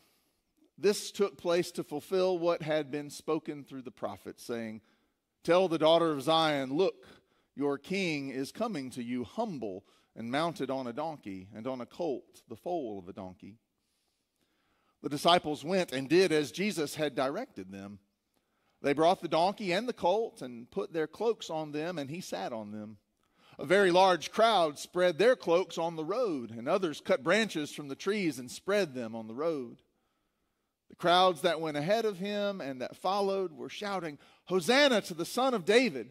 Blessed is the one who comes in the name of the Lord! Hosanna in the highest heaven!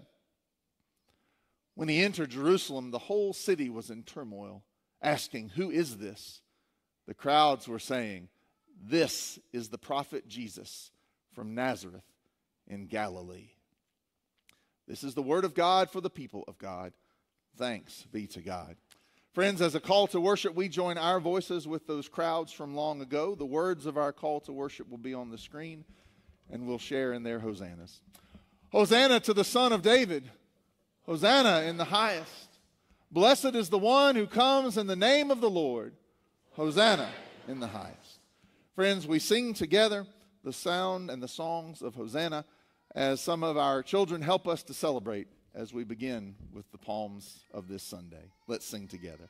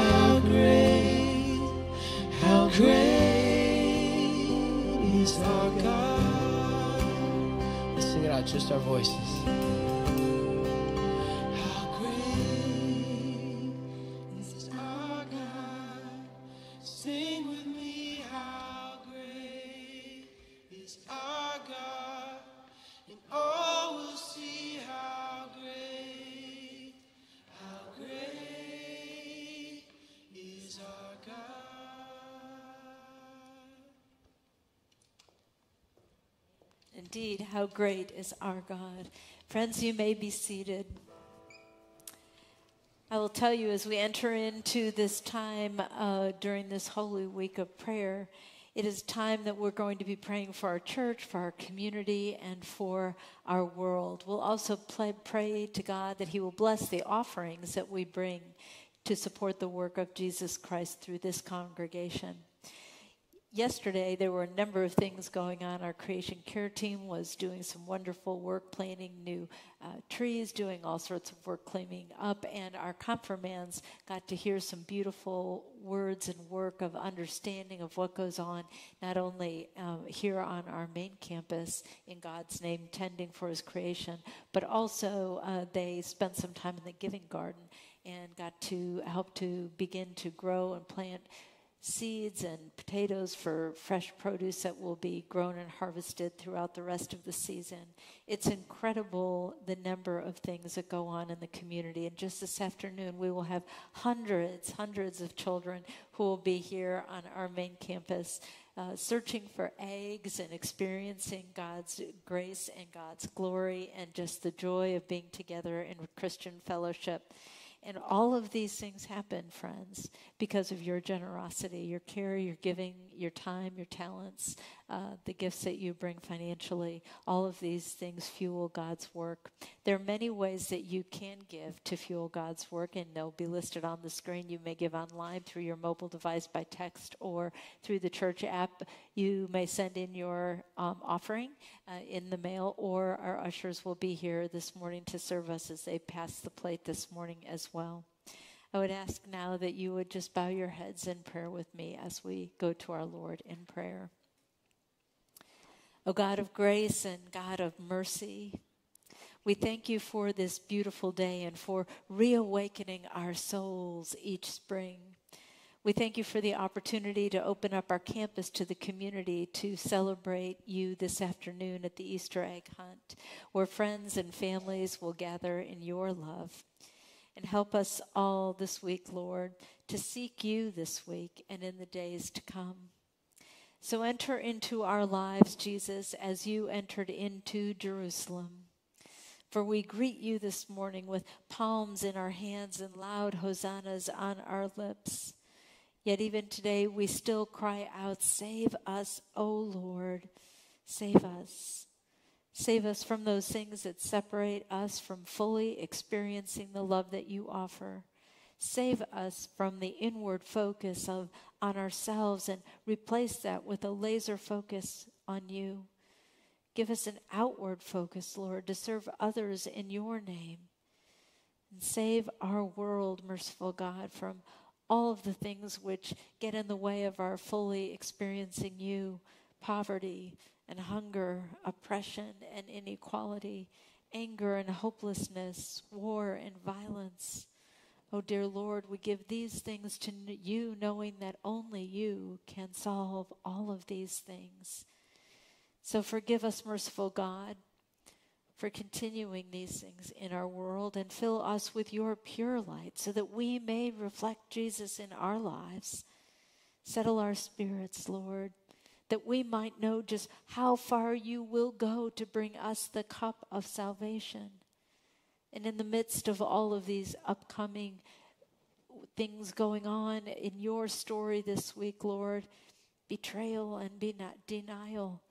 Oh Lord, help us to be forgiven in your name. Forgive us, Lord, for the betrayals and the denials that we still commit in our day, in our time, in our place. So bring us hope, Lord. Bring us hope where we have allowed fear and confusion to reside, and bring healing of both body and mind for those who are ill and those who are suffering. And bring peace, dear Lord, to this world, especially in Israel and Gaza and Ukraine and Haiti and all other places where war and violence occurs. And Lord, we ask that you would guide the leaders, not only of our nation, but the leaders of all nations, Lord, in their decision making, making that in somehow, in some way, that peace could prevail. And we pray, dear Lord, for all who are grieving. In our community, dear Lord, we especially ask that you would pour out your spirit upon David and Carla Landrum at the and his family at the death of David's father, and Phil and Lori Jaros and family at the loss of Lori's mother.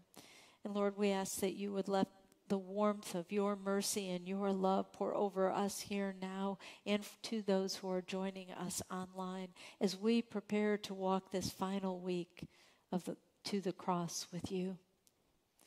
Lord Jesus, in your costly gifts to us, you have provided us a way of to live and to serve.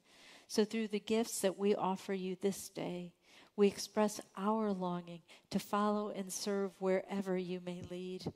So bless these tithes and offerings and fill them with your power so that lives may be touched, the world may be transformed, and more people may come to know you. So help us, Lord, not to rush into this Easter morning. This week, quiet our hearts and our souls and grant us time to be holy as we wait and we listen for you.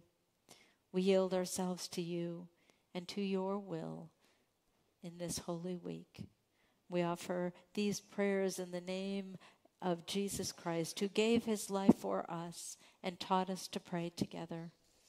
Our Father, who art in heaven, hallowed be thy name. Thy kingdom come, thy will be done, on earth as it is in heaven. Give us this day our daily bread, and forgive us our trespasses, as we forgive those who trespass against us. And lead us not into temptation, but deliver us from evil. For thine is the kingdom, and the power, and the glory forever. Amen. This morning's tithes and offerings will now be received.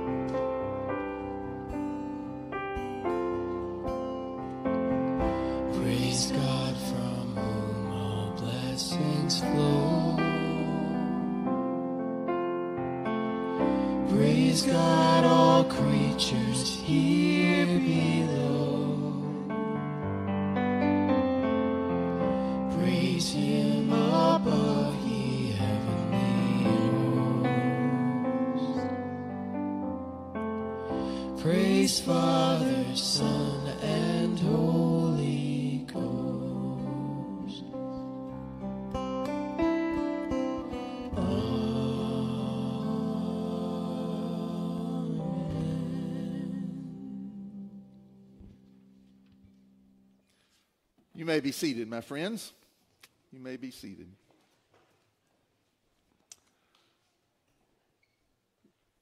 In this service, on this day, we go from what's arguably the highest heights of joyful experience to the weightiest depths of sorrow and sadness. And honestly, it's by design. There probably was a time, maybe you remember, I certainly do, growing up even, where we go to church on the Sunday before Easter, and it was Palm Sunday, and it was from wall to wall, Hosanna in the highest, joyful cries of thanksgiving to the King who was coming. And then the next week, it would be, Alleluia, Christ is risen. And somewhere along the lines, the Church of Jesus Christ began to recognize that if someone were only to come on Palm Sunday and then come back on Easter Sunday and hear Hosanna the one Sunday and hear Alleluia the next Sunday, they could very easily come away thinking, you know, this Jesus guy has pretty good days all the time. But you and I know that there's much more to the story. There likely was a time where one could expect that folks who worshiped on Palm Sunday would also worship on Maundy Thursday and hear of Jesus' last night with his disciples, of his betrayal. And then that folks would also be able to worship also on Good Friday and, and hear of the cross and Jesus' death upon it and thereby be fully ready for Easter morning, recognizing everything that Jesus had gone through. But with the busyness and the fullness of this world and our lives, it may be less likely that folks and families are able to do that. With that said, I certainly invite you and hope that you can worship with us on Holy Thursday, Maundy Thursday, and Good Friday this week. There'll be moving services that will remind us and take us with Jesus through those moments and times in his life in great detail. But in the wisdom of the church, and now for many years, we've taken this day not only to remember and recognize the palms, the shouts of Hosanna, but also the passion of Jesus, his suffering and death, so that we might fully be ready to appreciate the power of his love for us, the lengths that he submitted himself to go on our behalf, so that when Easter comes, we'll be able to sing Alleluia with a full appreciation for what Jesus has undertaken on our behalf. So, in this latter portion of our worship today, we turn fully into the passion of Jesus Christ our Lord. In just a moment, with the words of the Gospel of Matthew, we will hear the story of Jesus' last days and hours. It takes the place of our regular sermon time, and I'm appreciative that not once today, when I said we weren't having a sermon, did anybody applaud. That is just really, that means a lot to me. I appreciate that. With different voices and with images from art through the ages projected on the screens, we will simply let the Word of God speak for itself today and let the Gospel of Matthew itself be our proclamation. I invite you to listen closely, to watch the screens or the images that hang behind me on the banners as each scene is depicted. Or perhaps simply to close your eyes and to imagine in your own mind what it might have been like to be there with the Lord. Our readers will be there at the lectern and they will not give any introductions. There'll be no response between the readings. It'll simply go from one passage of Scripture to another as we are privileged to walk with Jesus all the way to the cross and to the silence of a tomb. As we prepare our hearts and minds for this moment, I'd invite you to pray with me. There's a prayer that will prepare us, and I invite you to join your voice with mine. Will you pray?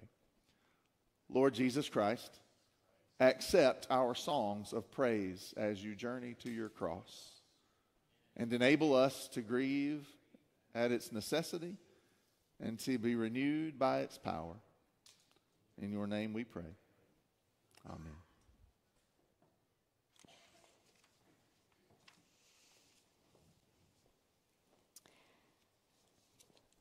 One of the twelve, who was called Judas Iscariot, went to the chief priests and said, What will you give me if I betray him to you?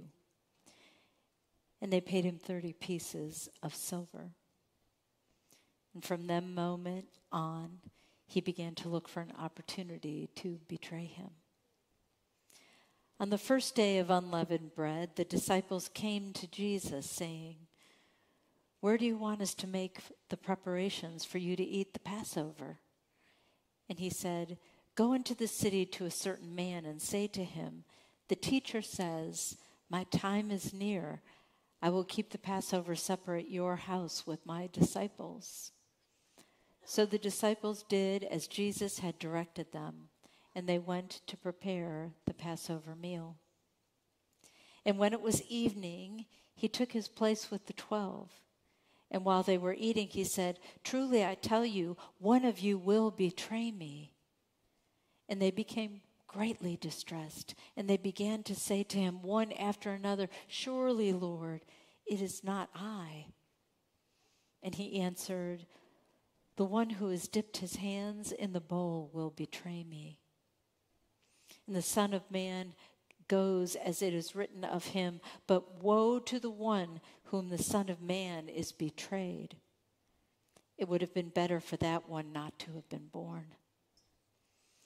So Judas, who betrayed him, said, Surely not I, Rabbi. And he said, You have said so. And while they were eating, Jesus took a loaf of bread. And after blessing it, he broke it and he gave it to his disciples. And he said, Take, eat, this is my body. And he took the cup, and after giving thanks, he gave it to him, saying, Drink of, from it, all of you. For this is the blood of the covenant, which is poured out for many for the forgiveness of sins. I tell you, I will never drink of this fruit of the vine until that day when I drink it with you in my Father's kingdom. And when they had sung the hymn, they went out to the Mount of Olives.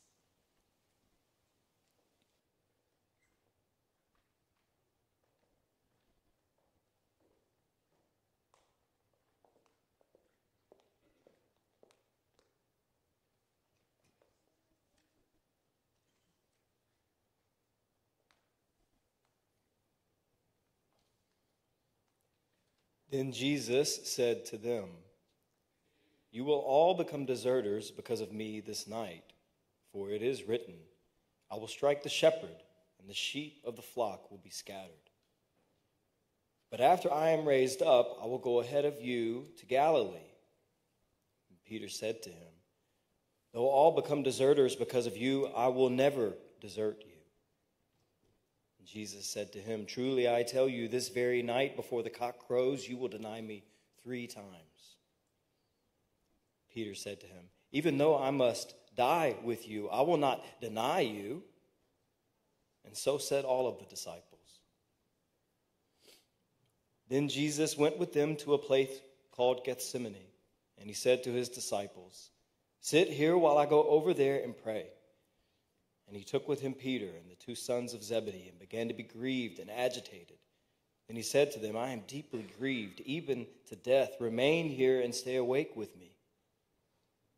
And going a little, little farther, he threw himself on the ground and prayed, My father, if it is possible, let this cup pass from me. Yet not what I want, but what you want.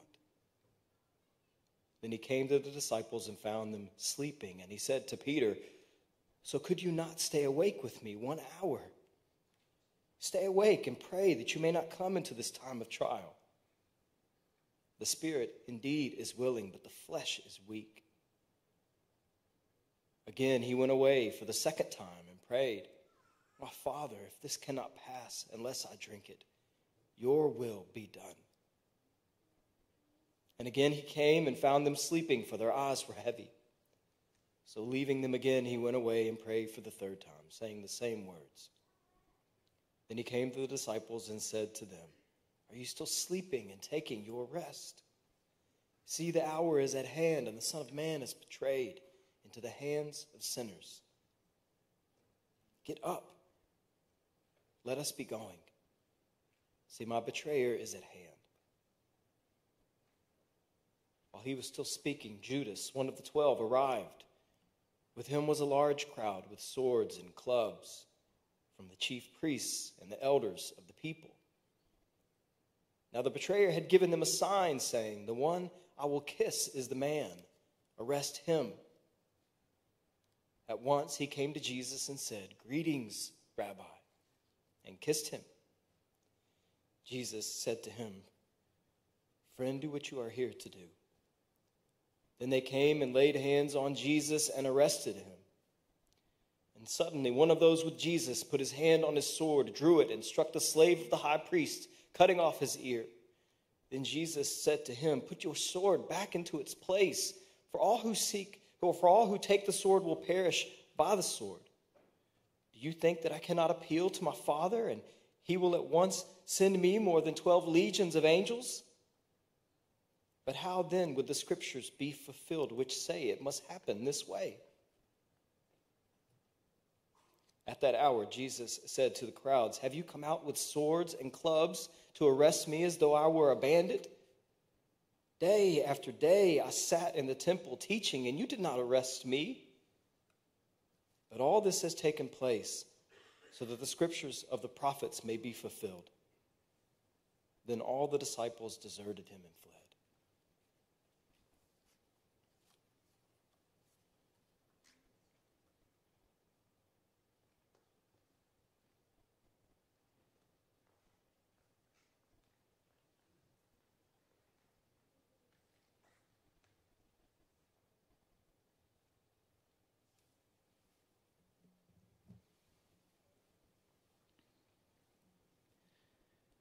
Those who had arrested Jesus took him to Caiaphas, the high priest, in whose house the scribes and the elders had gathered.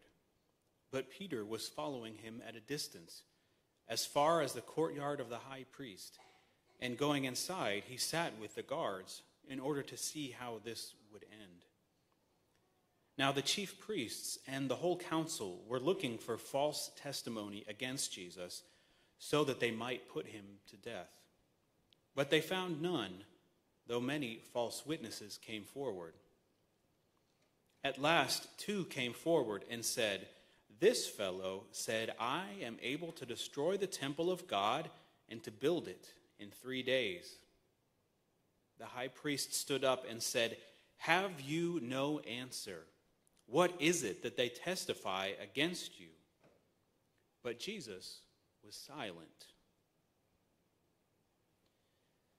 Then the high priest said to him, I put you under oath before the living God. Tell us if you are the Messiah, the Son of God. Jesus said to him, You have said so. But I tell you, from now on you will see the Son of Man seated at the right hand of power and coming on the clouds of heaven. Then the high priest tore his clothes and said, He has blasphemed. Why do we still need witnesses? You have now heard his blasphemy. What is your verdict? They answered, He deserves death. Then they spat in his face and struck him, and some slapped him, saying, Prophesy to us, you Messiah. Who is it that struck you? Now Peter was sitting outside in the courtyard. A servant girl came to him and said, You also were with Jesus the Galilean. But he denied it before all of them, saying, I do not know what you are talking about. When he went out to the porch, another servant girl saw him, and she said to the bystanders, This man was with Jesus of Nazareth. Again, he denied it with an oath, I do not know the man. After a little while, the bystanders came up and said to Peter, Certainly you are also one of them, for your accent betrays you. Then he began to curse, and he swore an oath, I do not know the man. At that moment, the cock crowed. Then Peter remembered what Jesus had said Before the cock crows, you will deny me three times. And he went out and wept bitterly.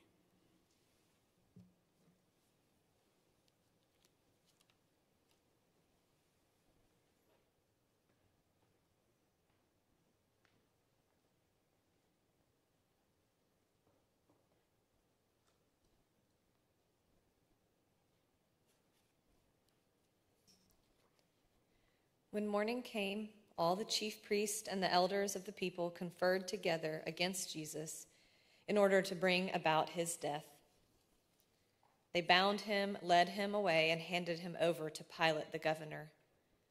When Judas, his betrayer, saw that Jesus was condemned, he repented and brought back the thirty pieces of silver to the chief priest and the elders. He said, I have sinned by betraying innocent blood. They said, What is that to us? See to it yourself. Throwing down the pieces of silver in the temple, he departed, and he went and hanged himself. But the chief priest, taking the pieces of silver, said, It is not lawful to put them into the treasury, since they are blood money. After conferring together, they used them to buy the potter's field as a place to bury foreigners. For this reason, that field has been called the field of blood to this day. Then was fulfilled what had been spoken through the prophet Jeremiah, and they took the thirty pieces of silver, the price of the one on whom a price had been set, on whom some of the people of Israel had set a price, and they gave them for the potter's field, as the Lord commanded me. Now Jesus stood before the governor, and the governor asked him, Are you the king of the Jews? Jesus said, You say so. But when he was accused by the chief priests and elders, he did not answer. Then Pilate said to him, Do you not hear how many accusations they make against you? But he gave him no answer, not even to a single charge, so that the governor was greatly amazed. Now at the festival, the governor was accustomed to release a prisoner for the crowd, anyone whom they wanted. At that time, they had a notorious prisoner called Jesus Barabbas. So after they had gathered, Pilate said to them, Whom do you want me to release for you, Jesus Barabbas or Jesus who is called the Messiah? For he realized that it was out of jealousy that they had handed him over. While he was sitting on the judgment seat, his wife sent word to him Have nothing to do with that innocent man, for today I have suffered a great deal because of a dream about him. Now the chief priest and the elders persuaded the crowd to ask for Barabbas and to have Jesus killed. The governor again said to them, Which of the two do you want me to release for you? And they said, Barabbas. Pilate said to them, Then what should I do with Jesus, who is called the Messiah? All of them said, Let him be crucified. Then he asked, Why? What evil has he done? But they shouted all the more. Let him be crucified.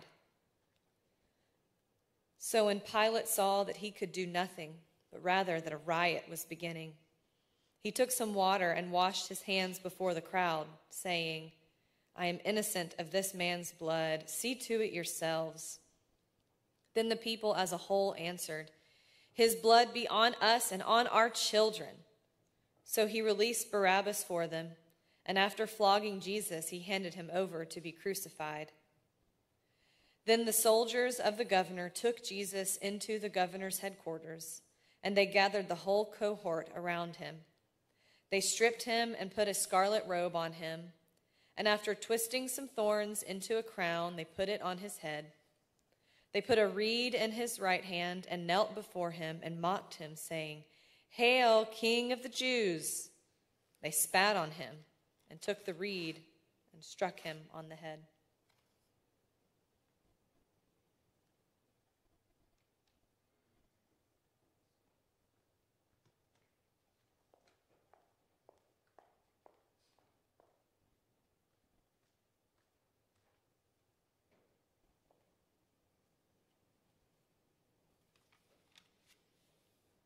After mocking him, they stripped him of the robe and put his own clothes on him. Then they led him away to be crucified. As they went out, they came upon a man from Cyrene named Simon. They compelled this man to carry his cross. And when they came to a place called Golgotha, which means place of a skull, they offered him wine to drink mixed with gall. But when he tasted it, he would not drink it. And when they had crucified him, they divided his clothes among themselves by casting lots. Then they sat down there and kept watch over him. Over his head, they put the charge against him, which read, This is Jesus, the King of the Jews. Then two bandits were crucified with him, one on his right and one on his left. Those who passed by derided him, shaking their heads and saying, You who would destroy the temple and build it in three days, save yourself. If you are the Son of God, come down from the cross. In the same way, the chief priests also, along with the scribes and elders, were mocking him, saying, He saved others he cannot save himself. He is the King of Israel. Let him come down from the cross now, and we will believe in him. He trusts in God. Let God deliver him now, if he wants to. For he said, I am God's son. The bandits who were crucified with him also taunted him in the same way.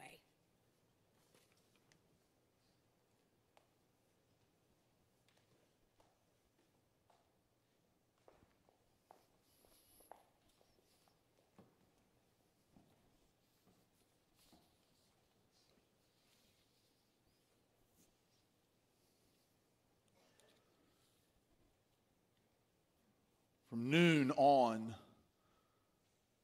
darkness came over the whole land until three in the afternoon. And about three o'clock, Jesus cried with a loud voice Eli, Eli, Lema Sabachthani. That is, my God, my God, why have you forsaken me? When some of the bystanders heard it, they said, This man is calling for Elijah. At once, one of them ran and got a sponge, filled it with sour wine, put it on a stick, and gave it to him to drink. But the other said, Wait, let us see whether Elijah will come to save him. Then Jesus cried again with a loud voice and breathed his last. At that moment, the curtain of the temple was torn in two from top to bottom. The earth shook and the rocks split.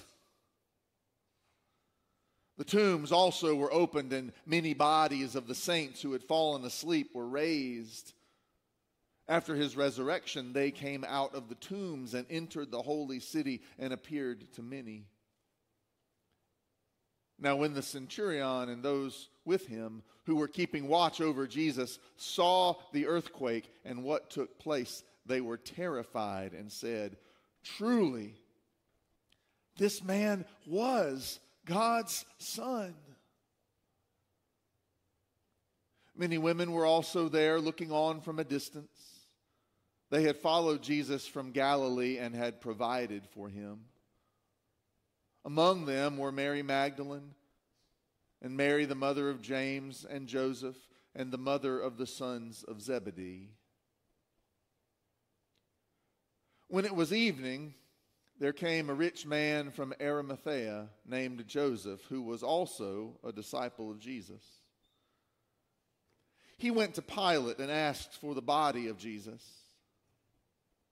Then Pilate ordered it to be given to him.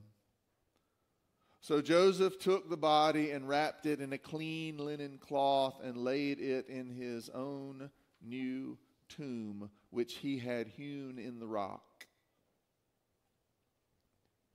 He then rolled a great stone to the door of the tomb and went away. Mary Magdalene and the other Mary were there, sitting opposite the tomb. The next day, that is, after the preparation, the chief priests and the Pharisees gathered before Pilate and said, Sir, we remember what that impostor said while he was still alive. After three days, I will rise again. Therefore, command the tomb to be made secure until the third day. Otherwise, his disciples may go and steal him away and tell the people, He has been raised from the dead. And the last deception would be worse than the first. Pilate said to them, You have a guard of soldiers. Go, make it as secure as you can. So they went with the guard and made the tomb secure by sealing the stone.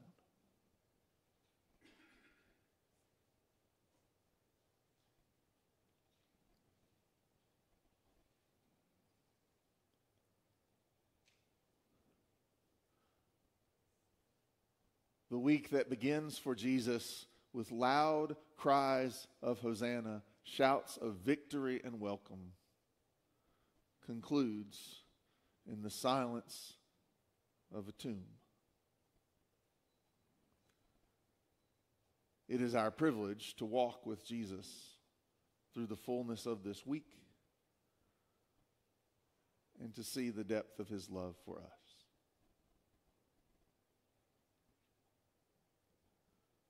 To affirm our faith in him and in the love that God has given the world in him, we share in the ancient words of the Apostles' Creed. So I'll invite you to stand as you are able. The words of the creed will be on the screen, and together we'll unite our voice to affirm our faith. Will you join me? I believe in God, the Father Almighty, maker of heaven and earth, and in Jesus Christ, his only Son, our Lord, who was conceived by the Holy Spirit, born of the Virgin Mary, suffered under Pontius Pilate was crucified, dead, and buried. The third day he rose from the dead. He ascended into heaven and sitteth at the right hand of God the Father Almighty. From thence he shall come to judge the quick and the dead. I believe in the Holy Spirit, the holy Catholic Church, the communion of saints, the forgiveness of sins, the resurrection of the body, and the life everlasting. Amen. From Palm Sunday to Good Friday to the quiet of Easter morning. Having gone with Jesus the full breadth of this week, We'll have the opportunity to genuinely appreciate the good news that we'll find Easter morning. But do not be too quick to rush through this week. Do not be too quick to move from Palm Sunday to Easter morning. Rather, to appreciate the profound gravity of our Lord's love and with courage that he gives us by his grace. Let us walk with Jesus and feel the weight of his love for us. We sing together with grateful hearts. Will you join us?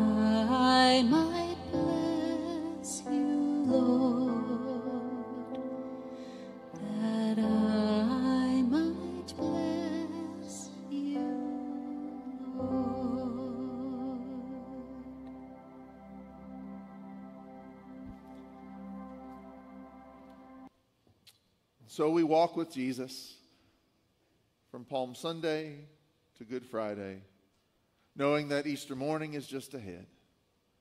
This week, may you walk and feel and know the love of Christ for you. And by his mercy, may we share that love with this world. In the name of the Father, and the Son, and the Holy Spirit. Amen.